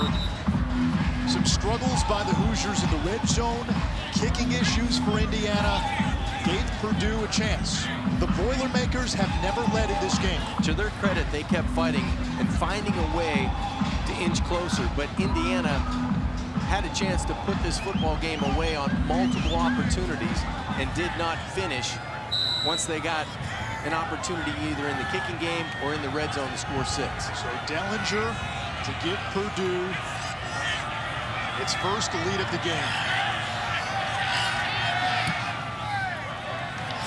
His kick from 34 is good. Purdue leading for the first time today. Now Indiana can win it with a touchdown. Solid job up front. The kick is true, and it's Purdue's first lead of the afternoon that's turning into evening in double overtime. Following our game will get you to Miami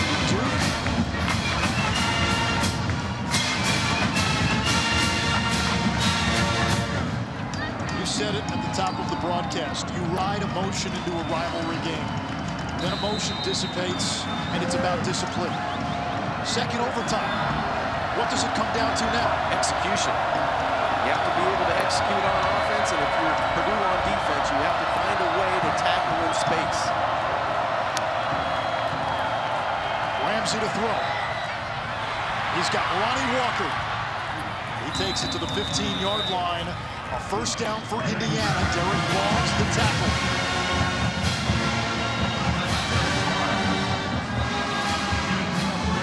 We have man coverage. I would look for, oh, they're coming out of it. Purdue showed man coverage, and now they're going to go to zone. Ramsey to the end zone. Incomplete. I think Indiana had a man beater play on. They were waiting for Purdue to stay in man coverage. Defensive coordinator Nick Holt comes out in zone, and Ramsey did the wise thing to throw the football away. That was a good disguise because the Purdue defense waited until the last moment to show zone. Whop Philyor had a big game. Eight catches, 138 yards. He's in the slot nearest the line of scrimmage. Might come out run two post and take your pick. Purdue loading up the box. They'll bring pressure. Incomplete behind Westbrook. And another Purdue player down on second down. Without their leading rusher today, and without their number two back, Sampson James, who left this game with an injury.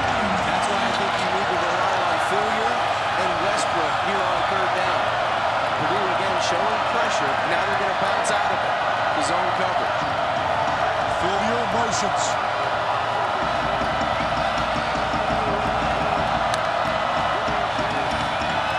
Ramsey has Henderson inside the five, reaching, and he takes it to the one-yard line. And if Indiana can punch it in, they'll take the bucket to Bloomington. I think they go quarterback sneak here with a quick snap. Ramsey, QB keeper,